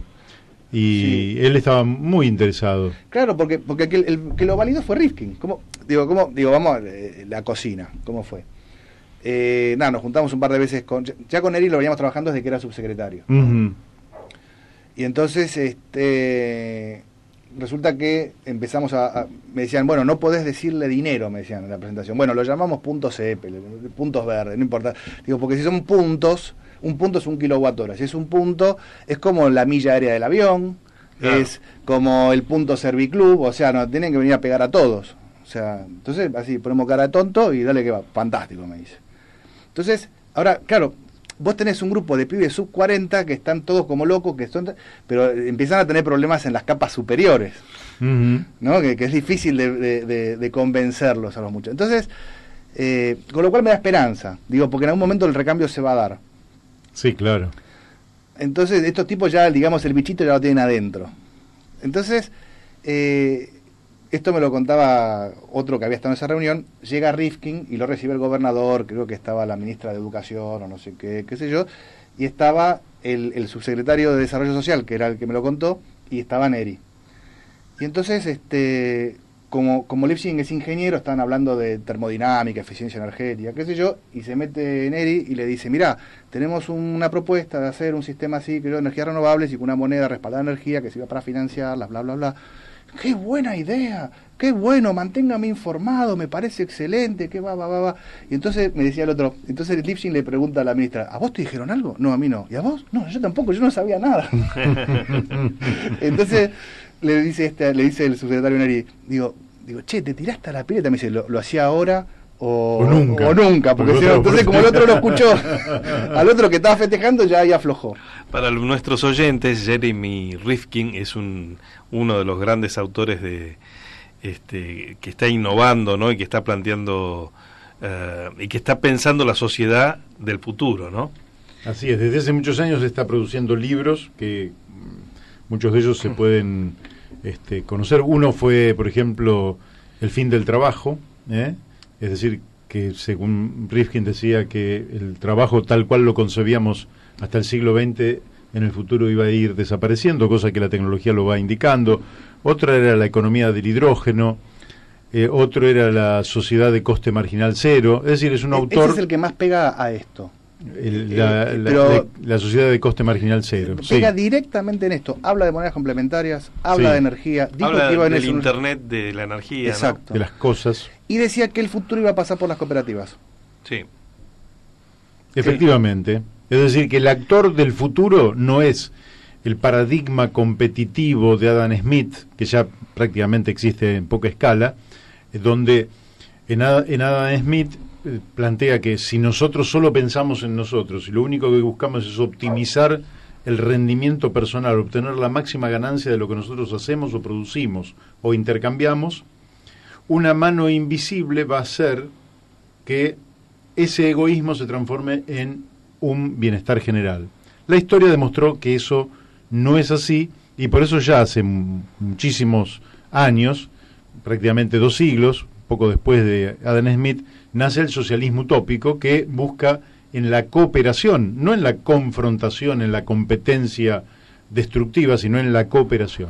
Según Jeremy Rifkin, el sujeto económico del futuro es el colaborativo, es decir, el que colabora con el otro, el que eh, mutuamente nos ayudamos y esto genera resultados infinitamente más beneficiosos que si confrontamos, y por eso creo que el principio de cooperación es un principio que se va a ir instalando, sobre todo en los más jóvenes. Ahora, el punto débil de eso, digo, porque eso no, lo inventó Rifkin, eso es más viejo que andar a pie, digamos, la idea de que... Ahora, ¿dónde está la, fusión?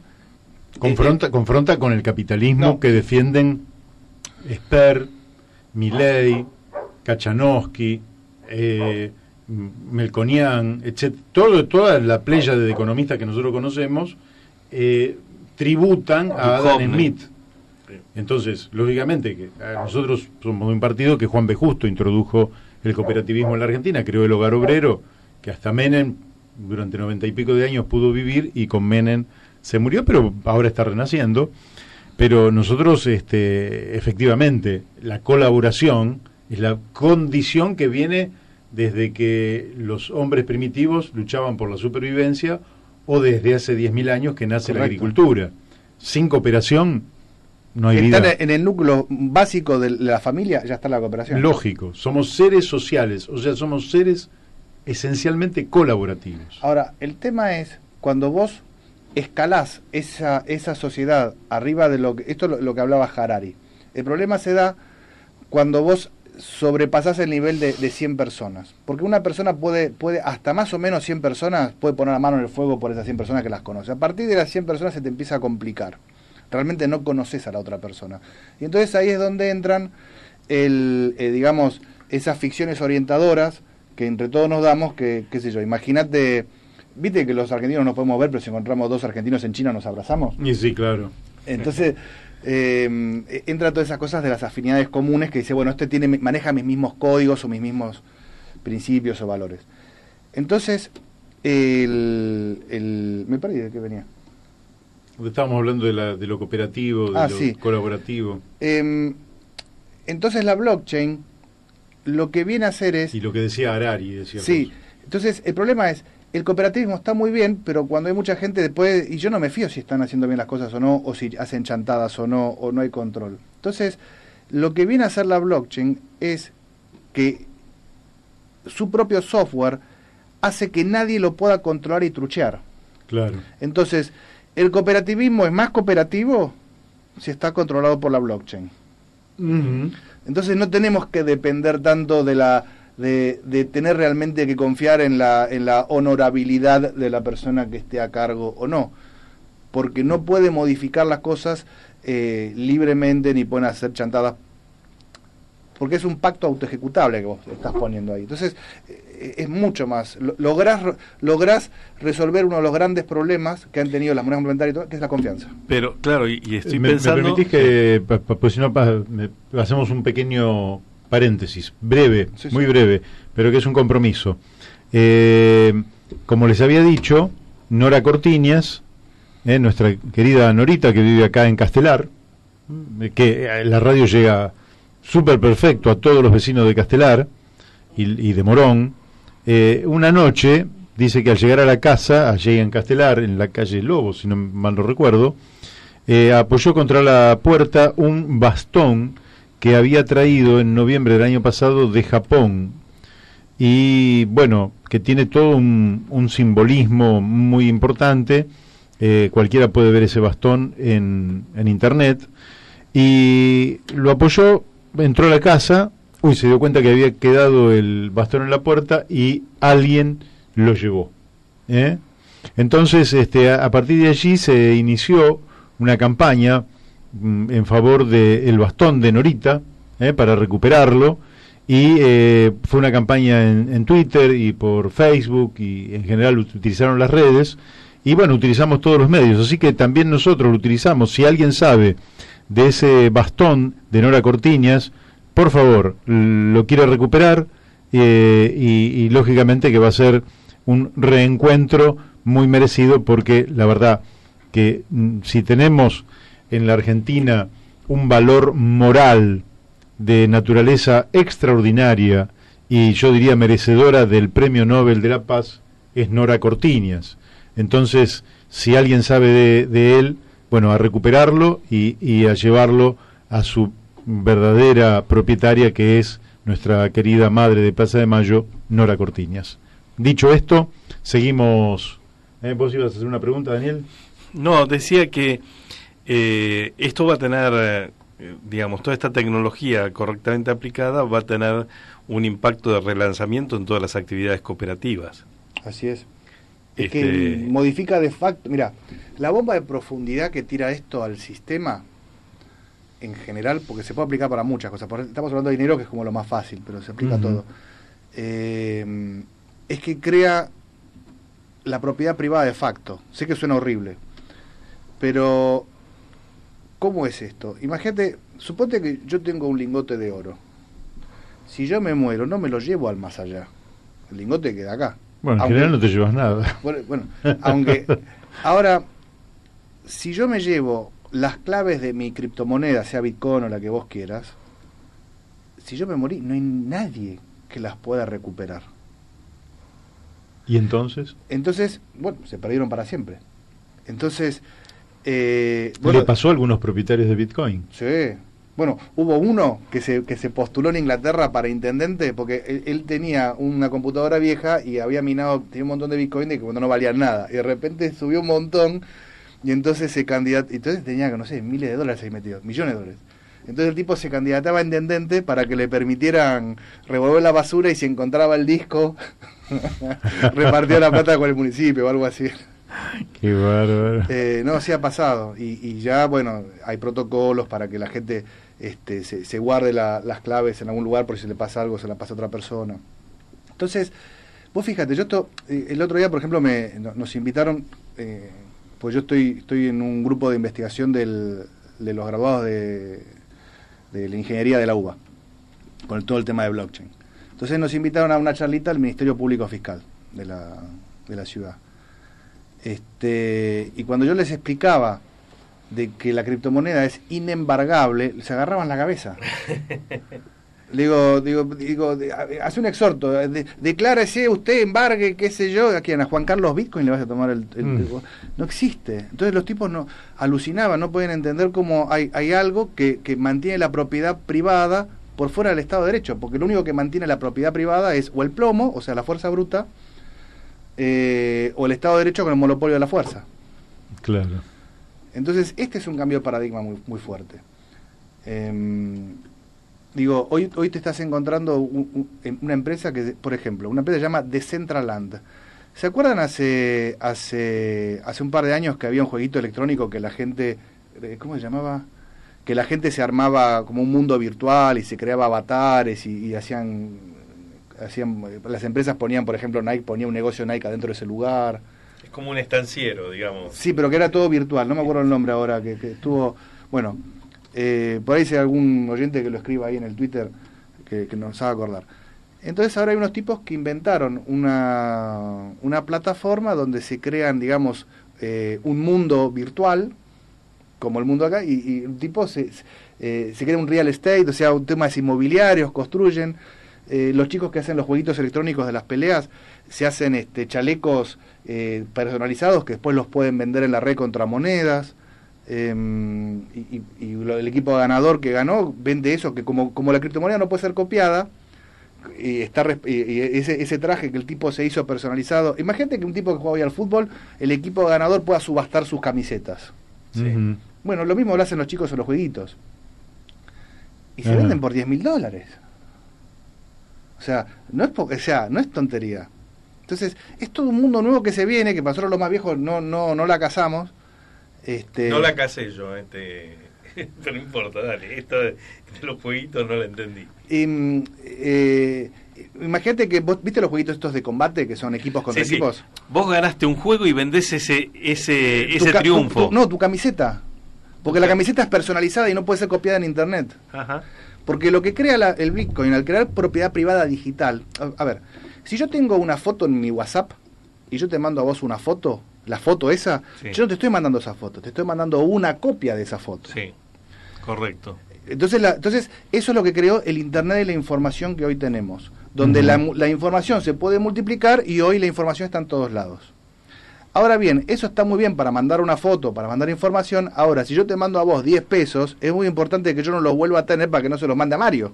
Claro. Porque si no estoy duplicando o estoy falsificando plata. Así es. Entonces, como eso en Internet no se podía evitar, tenía que aparecer el intermediario de confianza de los dos, que era el banco, o la entidad de pago, o el clearing. Ahora, ¿qué es lo que hace el Bitcoin? Dicen, muchachos, es que saquemos a ese intermediario, usemos todos este mismo programa, que no es de nadie, que es de todos, y que cuando yo te mando a vos un Bitcoin, efectivamente yo no lo tengo más y no se lo puedo volver a mandar a Mario.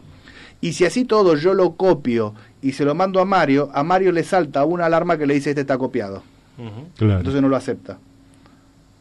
Entonces, eh, eso mismo que representa un Bitcoin, que es la nada misma, que es humo, porque es oferta y demanda, porque es un bien escaso, nada más que eso, yo puedo representar en eso eh, un título de propiedad, de un coche, de una casa, puedo representar eh, el, voto de una persona, puedo representar el expediente médico o, la ficha médica de alguien de manera segura y que solamente los médicos lo puedan ver. Entonces, eh, en Honduras, por ejemplo, el registro de la propiedad se está haciendo sobre blockchain. Porque lo que pasaba era que los, los registros de propiedad eran sumamente corruptos, entonces el político de turno hacía que, qué sé yo, mira, esa playa que está Juan Pescador, la vamos a poner a nombre de mi amigo que se queda arma del hotel. Y no, lo sacaban, ni siquiera le sacaban a patadas al pobre pescador, directamente cambiaban la propiedad en el registro de la propiedad. Entonces el otro tenía un título de propiedad que no servía para nada, porque lo que manda es el registro de propiedad.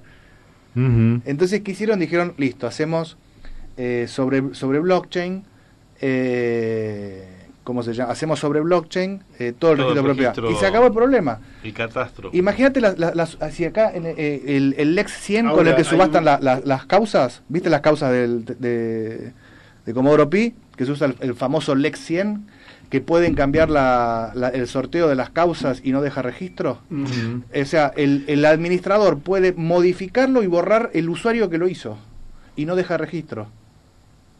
Entonces es una Con blockchain no, eso no ocurre. No puede. No puede. Escúchame, quiere decir que el blockchain, que sería como una suerte de eh, caja fuerte de cristal, que todos la pueden ver. Es un escribano digital, eh, el que todos tenemos lo mismo.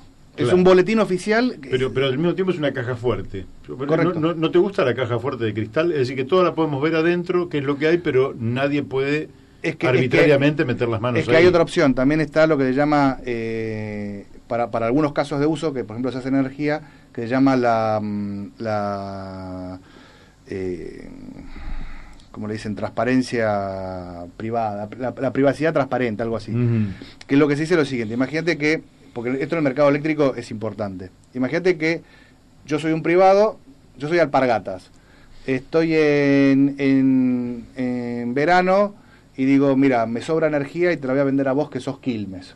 Entonces yo, yo tengo un contrato de energía, de suministro de energía, y te lo voy a vender a vos, que a vos necesitas porque tenés un aumento de demanda. Entonces, generalmente, ¿qué lo hacemos? Vos y yo hacemos un contrato privado que tendríamos que entregarlo a Camesa. Camesa es la autoridad que regula todas estas cosas los contratos de energía. Y eso generalmente es todo privado. Si nosotros lo hiciéramos en blockchain sería público. Y a lo mejor a vos no te interesa que tu competencia sepa cuánto vos estás comprando la energía. Entonces, digo, eso, privacidad transparente, ahí me acordé. Entonces, ¿qué es lo que se logra hacer con blockchain? Lo que se llama la privacidad transparente, que es decir, bueno, la autoridad de aplicación, en este caso Camesa, autoriza, que se, puede establecer como, que, que dentro de estos parámetros vos puedas hacer el acuerdo libre que vos quieras. Porque va a ser legal, porque tenés otros... Ahora, si es más arriba, más abajo, izquierda, derecha, no lo sé, pero está dentro de un rango de lo permitido.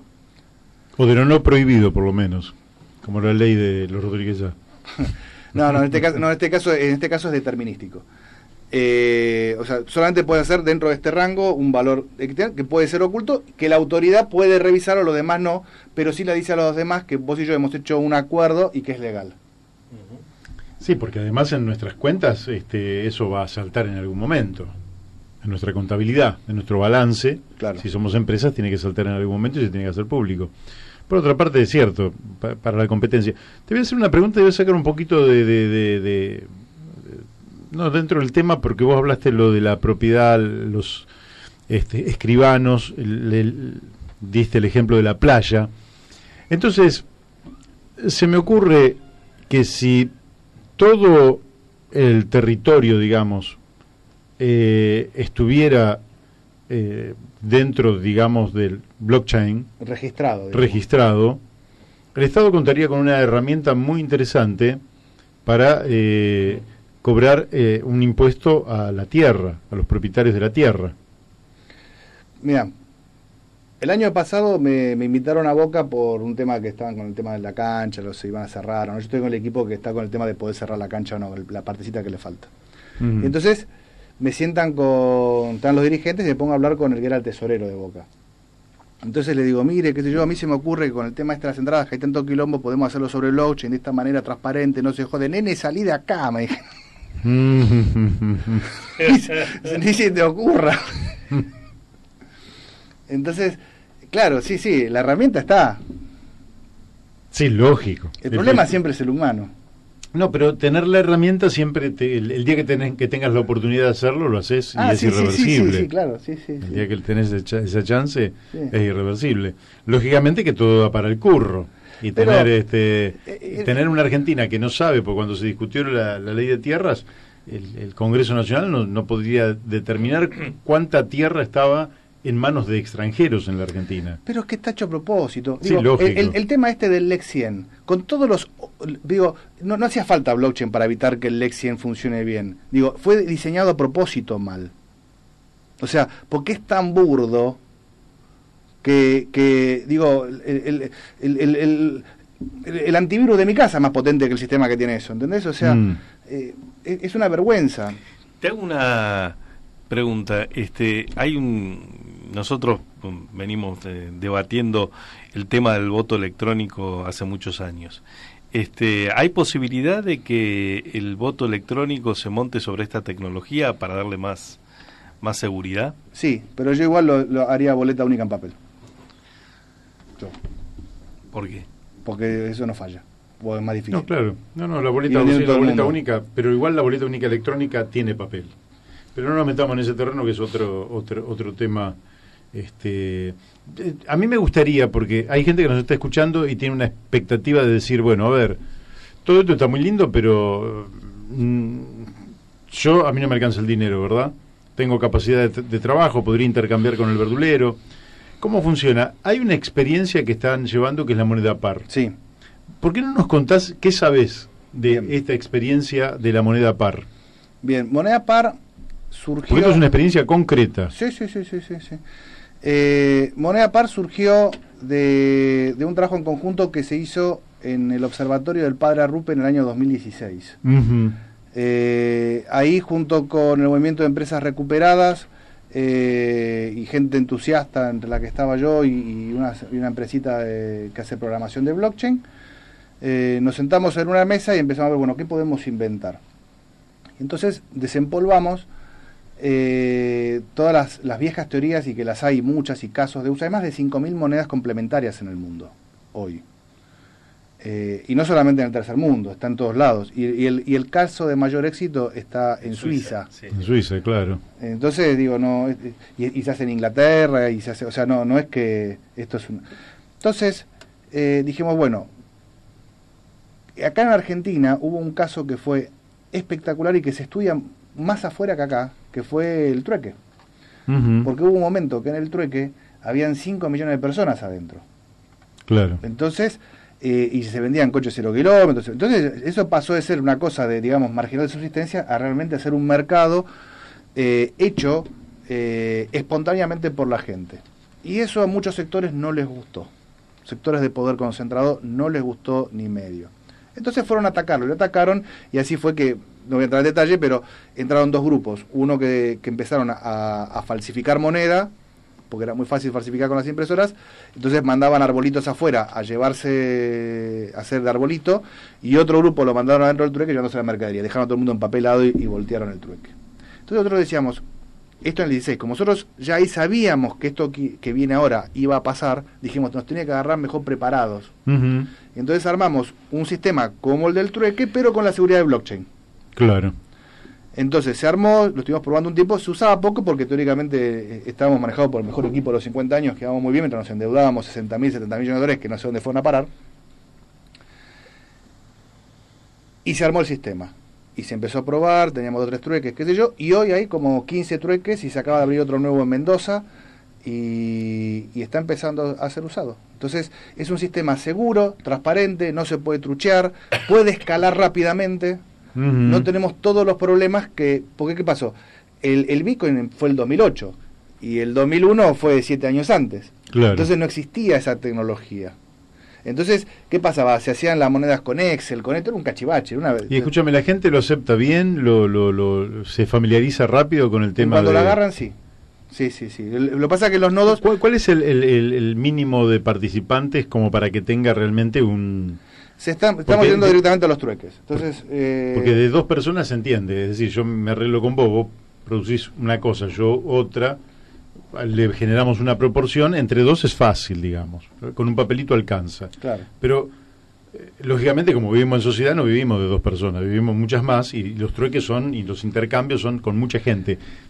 ¿Cuál sería un número eh, mínimo? porque después se podría expandir. No, te puedo decir personas, lo que sí te puedo decir son los últimos números que mandaron los chicos al, grupo del WhatsApp, eh, que andaba más o menos en cada vez que se hace una juntada así de trueque, andan entre 50 70 mil pesos de, cambios entre los diferentes usuarios. O sea, cuando se hace un mercadito, parte se hace en pesos y parte se hace en par. Claro. Eh, y, entonces eso más o menos anda en esa cantidad, 50, 70 mil pesos por cada vez que se junta un nodo o alguien. En... Pero bueno, demuestra que existe. Ahí está. Sí, demuestra que existe. Y escúchame, a diferencia de... Eh, nosotros tenemos un problema con la moneda que es que la moneda argentina no la quiere nadie porque se devalúa permanentemente. Te olvidaste 100 pesos en el bolsillo hace un año y ahora te vale la mitad. Claro. Perdiste la, perdiste la plata porque te quedó en el bolsillo. Eh, entonces nadie quiere la moneda argentina, este es el problema, por eso la gente compra otras cosas y, la invierte o en dólares o lo que fuera. Eh, en este caso, los intereses, no hay intereses, es una moneda sin interés. Claro, vos fíjate, si vos tenés pesos, ¿qué pasa con los pesos que vos tenés? Se devalúan y vos los querés gastar rápido para tener algo que no se devalúe. Pero si vos tenés deuda sin interés, si, yo te debo a vos 100 pesos, a mí me conviene no pagarte porque la inflación me la licúa. Entonces, como nosotros en el sistema no prestamos dinero, porque el dinero solamente es una atribución del Estado, nosotros lo que hacemos es llevamos un libro de cuentas de quién le debe a quién. Entonces, vos, vos te querés sumar al, club de trueque nuestro, ¿no? Entonces te venís a Capital, o no sé si hay uno acá. Te venís, entonces, bueno, te conocemos, Mario, yo te presento, papá. Bueno, Mario te queremos. Entonces, tres de nosotros te vamos a avalar nosotros te vamos a avalar. Entonces te vamos a dar un crédito, creo que son 5 mil pesos, esas empresas son 25 mil, no me acuerdo los niveles cómo están, para que vos puedas irte en rojo, o sea, en descubierto, hasta esa cantidad. ¿Contra qué? Contra los bienes y servicios que los demás estamos dando. Sí, sí. O sea, en realidad somos nosotros lo que te estamos avalando vos contra mercancías y servicios. Es como un descubierto de la cuenta corriente de la... de un crédito. Claro. Por cinco mil, pero por el cual no pago intereses. Exacto, entonces... Pero que lo tengo que saldar en qué tiempo? 30 días. En 30 días lo tengo que saldar. Entonces vos, imagínate una persona, vamos a un ejemplo tonto, una persona ¿Y si necesito, por ejemplo, 60 días? Bueno, ahí tenés que te pasaste, tenés que venir al nodo y ahí se verá la situación y se ve. Eh, si vos tuvieras que ponerlo a cero, por ejemplo, hay algunos nodos en Córdoba que lo que hicieron es un, uno de última instancia. Se busca, por ejemplo, ¿qué es lo que a todos, por ejemplo, si yo necesitaba la plata pero no tengo nada que ofrecer porque nadie me, nadie me compra? Bueno, la escuela necesita ser pintada. Entonces, entre todos ponemos plata para que vayas vos y pagues la cuenta y, y, con tu trabajo de pintar la escuela que nos sirve a todos, vos cancelás lo que vos debés. Que Excelente. Excelente. Bueno, Nico, el tiempo Dicen, no sé, esa frase famosa. es oro. No, es Bitcoin. El tiempo, el tiempo es cripto. Eh, sí, no podemos hacer nada porque el tiempo está relacionado con aspectos cósmicos y la Tierra sigue su movimiento, girando por no se sabe a dónde va. tirano, el tiempo es tirano. El tiempo es tirano, sí, lógico, lógico. Este, yo te agradezco muchísimo que hayas venido, espero que le hayas pasado bien. Se me pasó ¿eh? volando. Espero que por lo menos de, todo lo que dijiste, alguna vez te vamos a volver a, invitar porque eh, no es un tema con el cual estemos tan familiarizados, nos parece un tema excelente y central, central para la libertad que es la que buscamos nosotros, y el bienestar general, que también es el, elemento este, en el cual sostenemos nosotros, por lo menos este programa La Brújula, que siempre trata de aportar un granito de arena para un país que está en gran medida a la deriva. Bueno, aquí se termina el día de hoy, este 8 de abril, el día del cumpleaños de mi queridísima compañera desde hace más de 35 años, Laura, así que para ella un beso. Y para todos los oyentes nos estamos encontrando mañana a las 12 aquí. Y no se olviden que mañana va a estar el doctor eh, Juan Carlos Luján, que es presidente de la Fundación Marambio. Vamos a estar hablando sobre la Antártida, ¿eh? que no es un tema menor y que muchas veces los argentinos, así como tuvimos durante casi un siglo, desde 1833 hasta 1930, olvidadas a las Malvinas, ¿eh? y ya no, no nos las olvidamos más, el tema de la Antártida lo tenemos bastante olvidado. Así que mañana vamos a tratar. Mañana a venir abrigadito. Mañana este, vamos a tener acá al presidente de la Fundación Marambio, doctor Juan Carlos Luján, y le vamos a hacer todas las preguntas atinentes. Ustedes, quienes tengan alguna pregunta para hacerle, también nos la envían o me la envían a mí por WhatsApp, los que tienen el contacto, o llaman a la radio al 4443-7424 y se la vamos a transmitir. De hecho, este, nos estamos reencontrando entonces mañana 9 de abril a las 12 horas aquí en Radio La Luna AM 1140. Chau.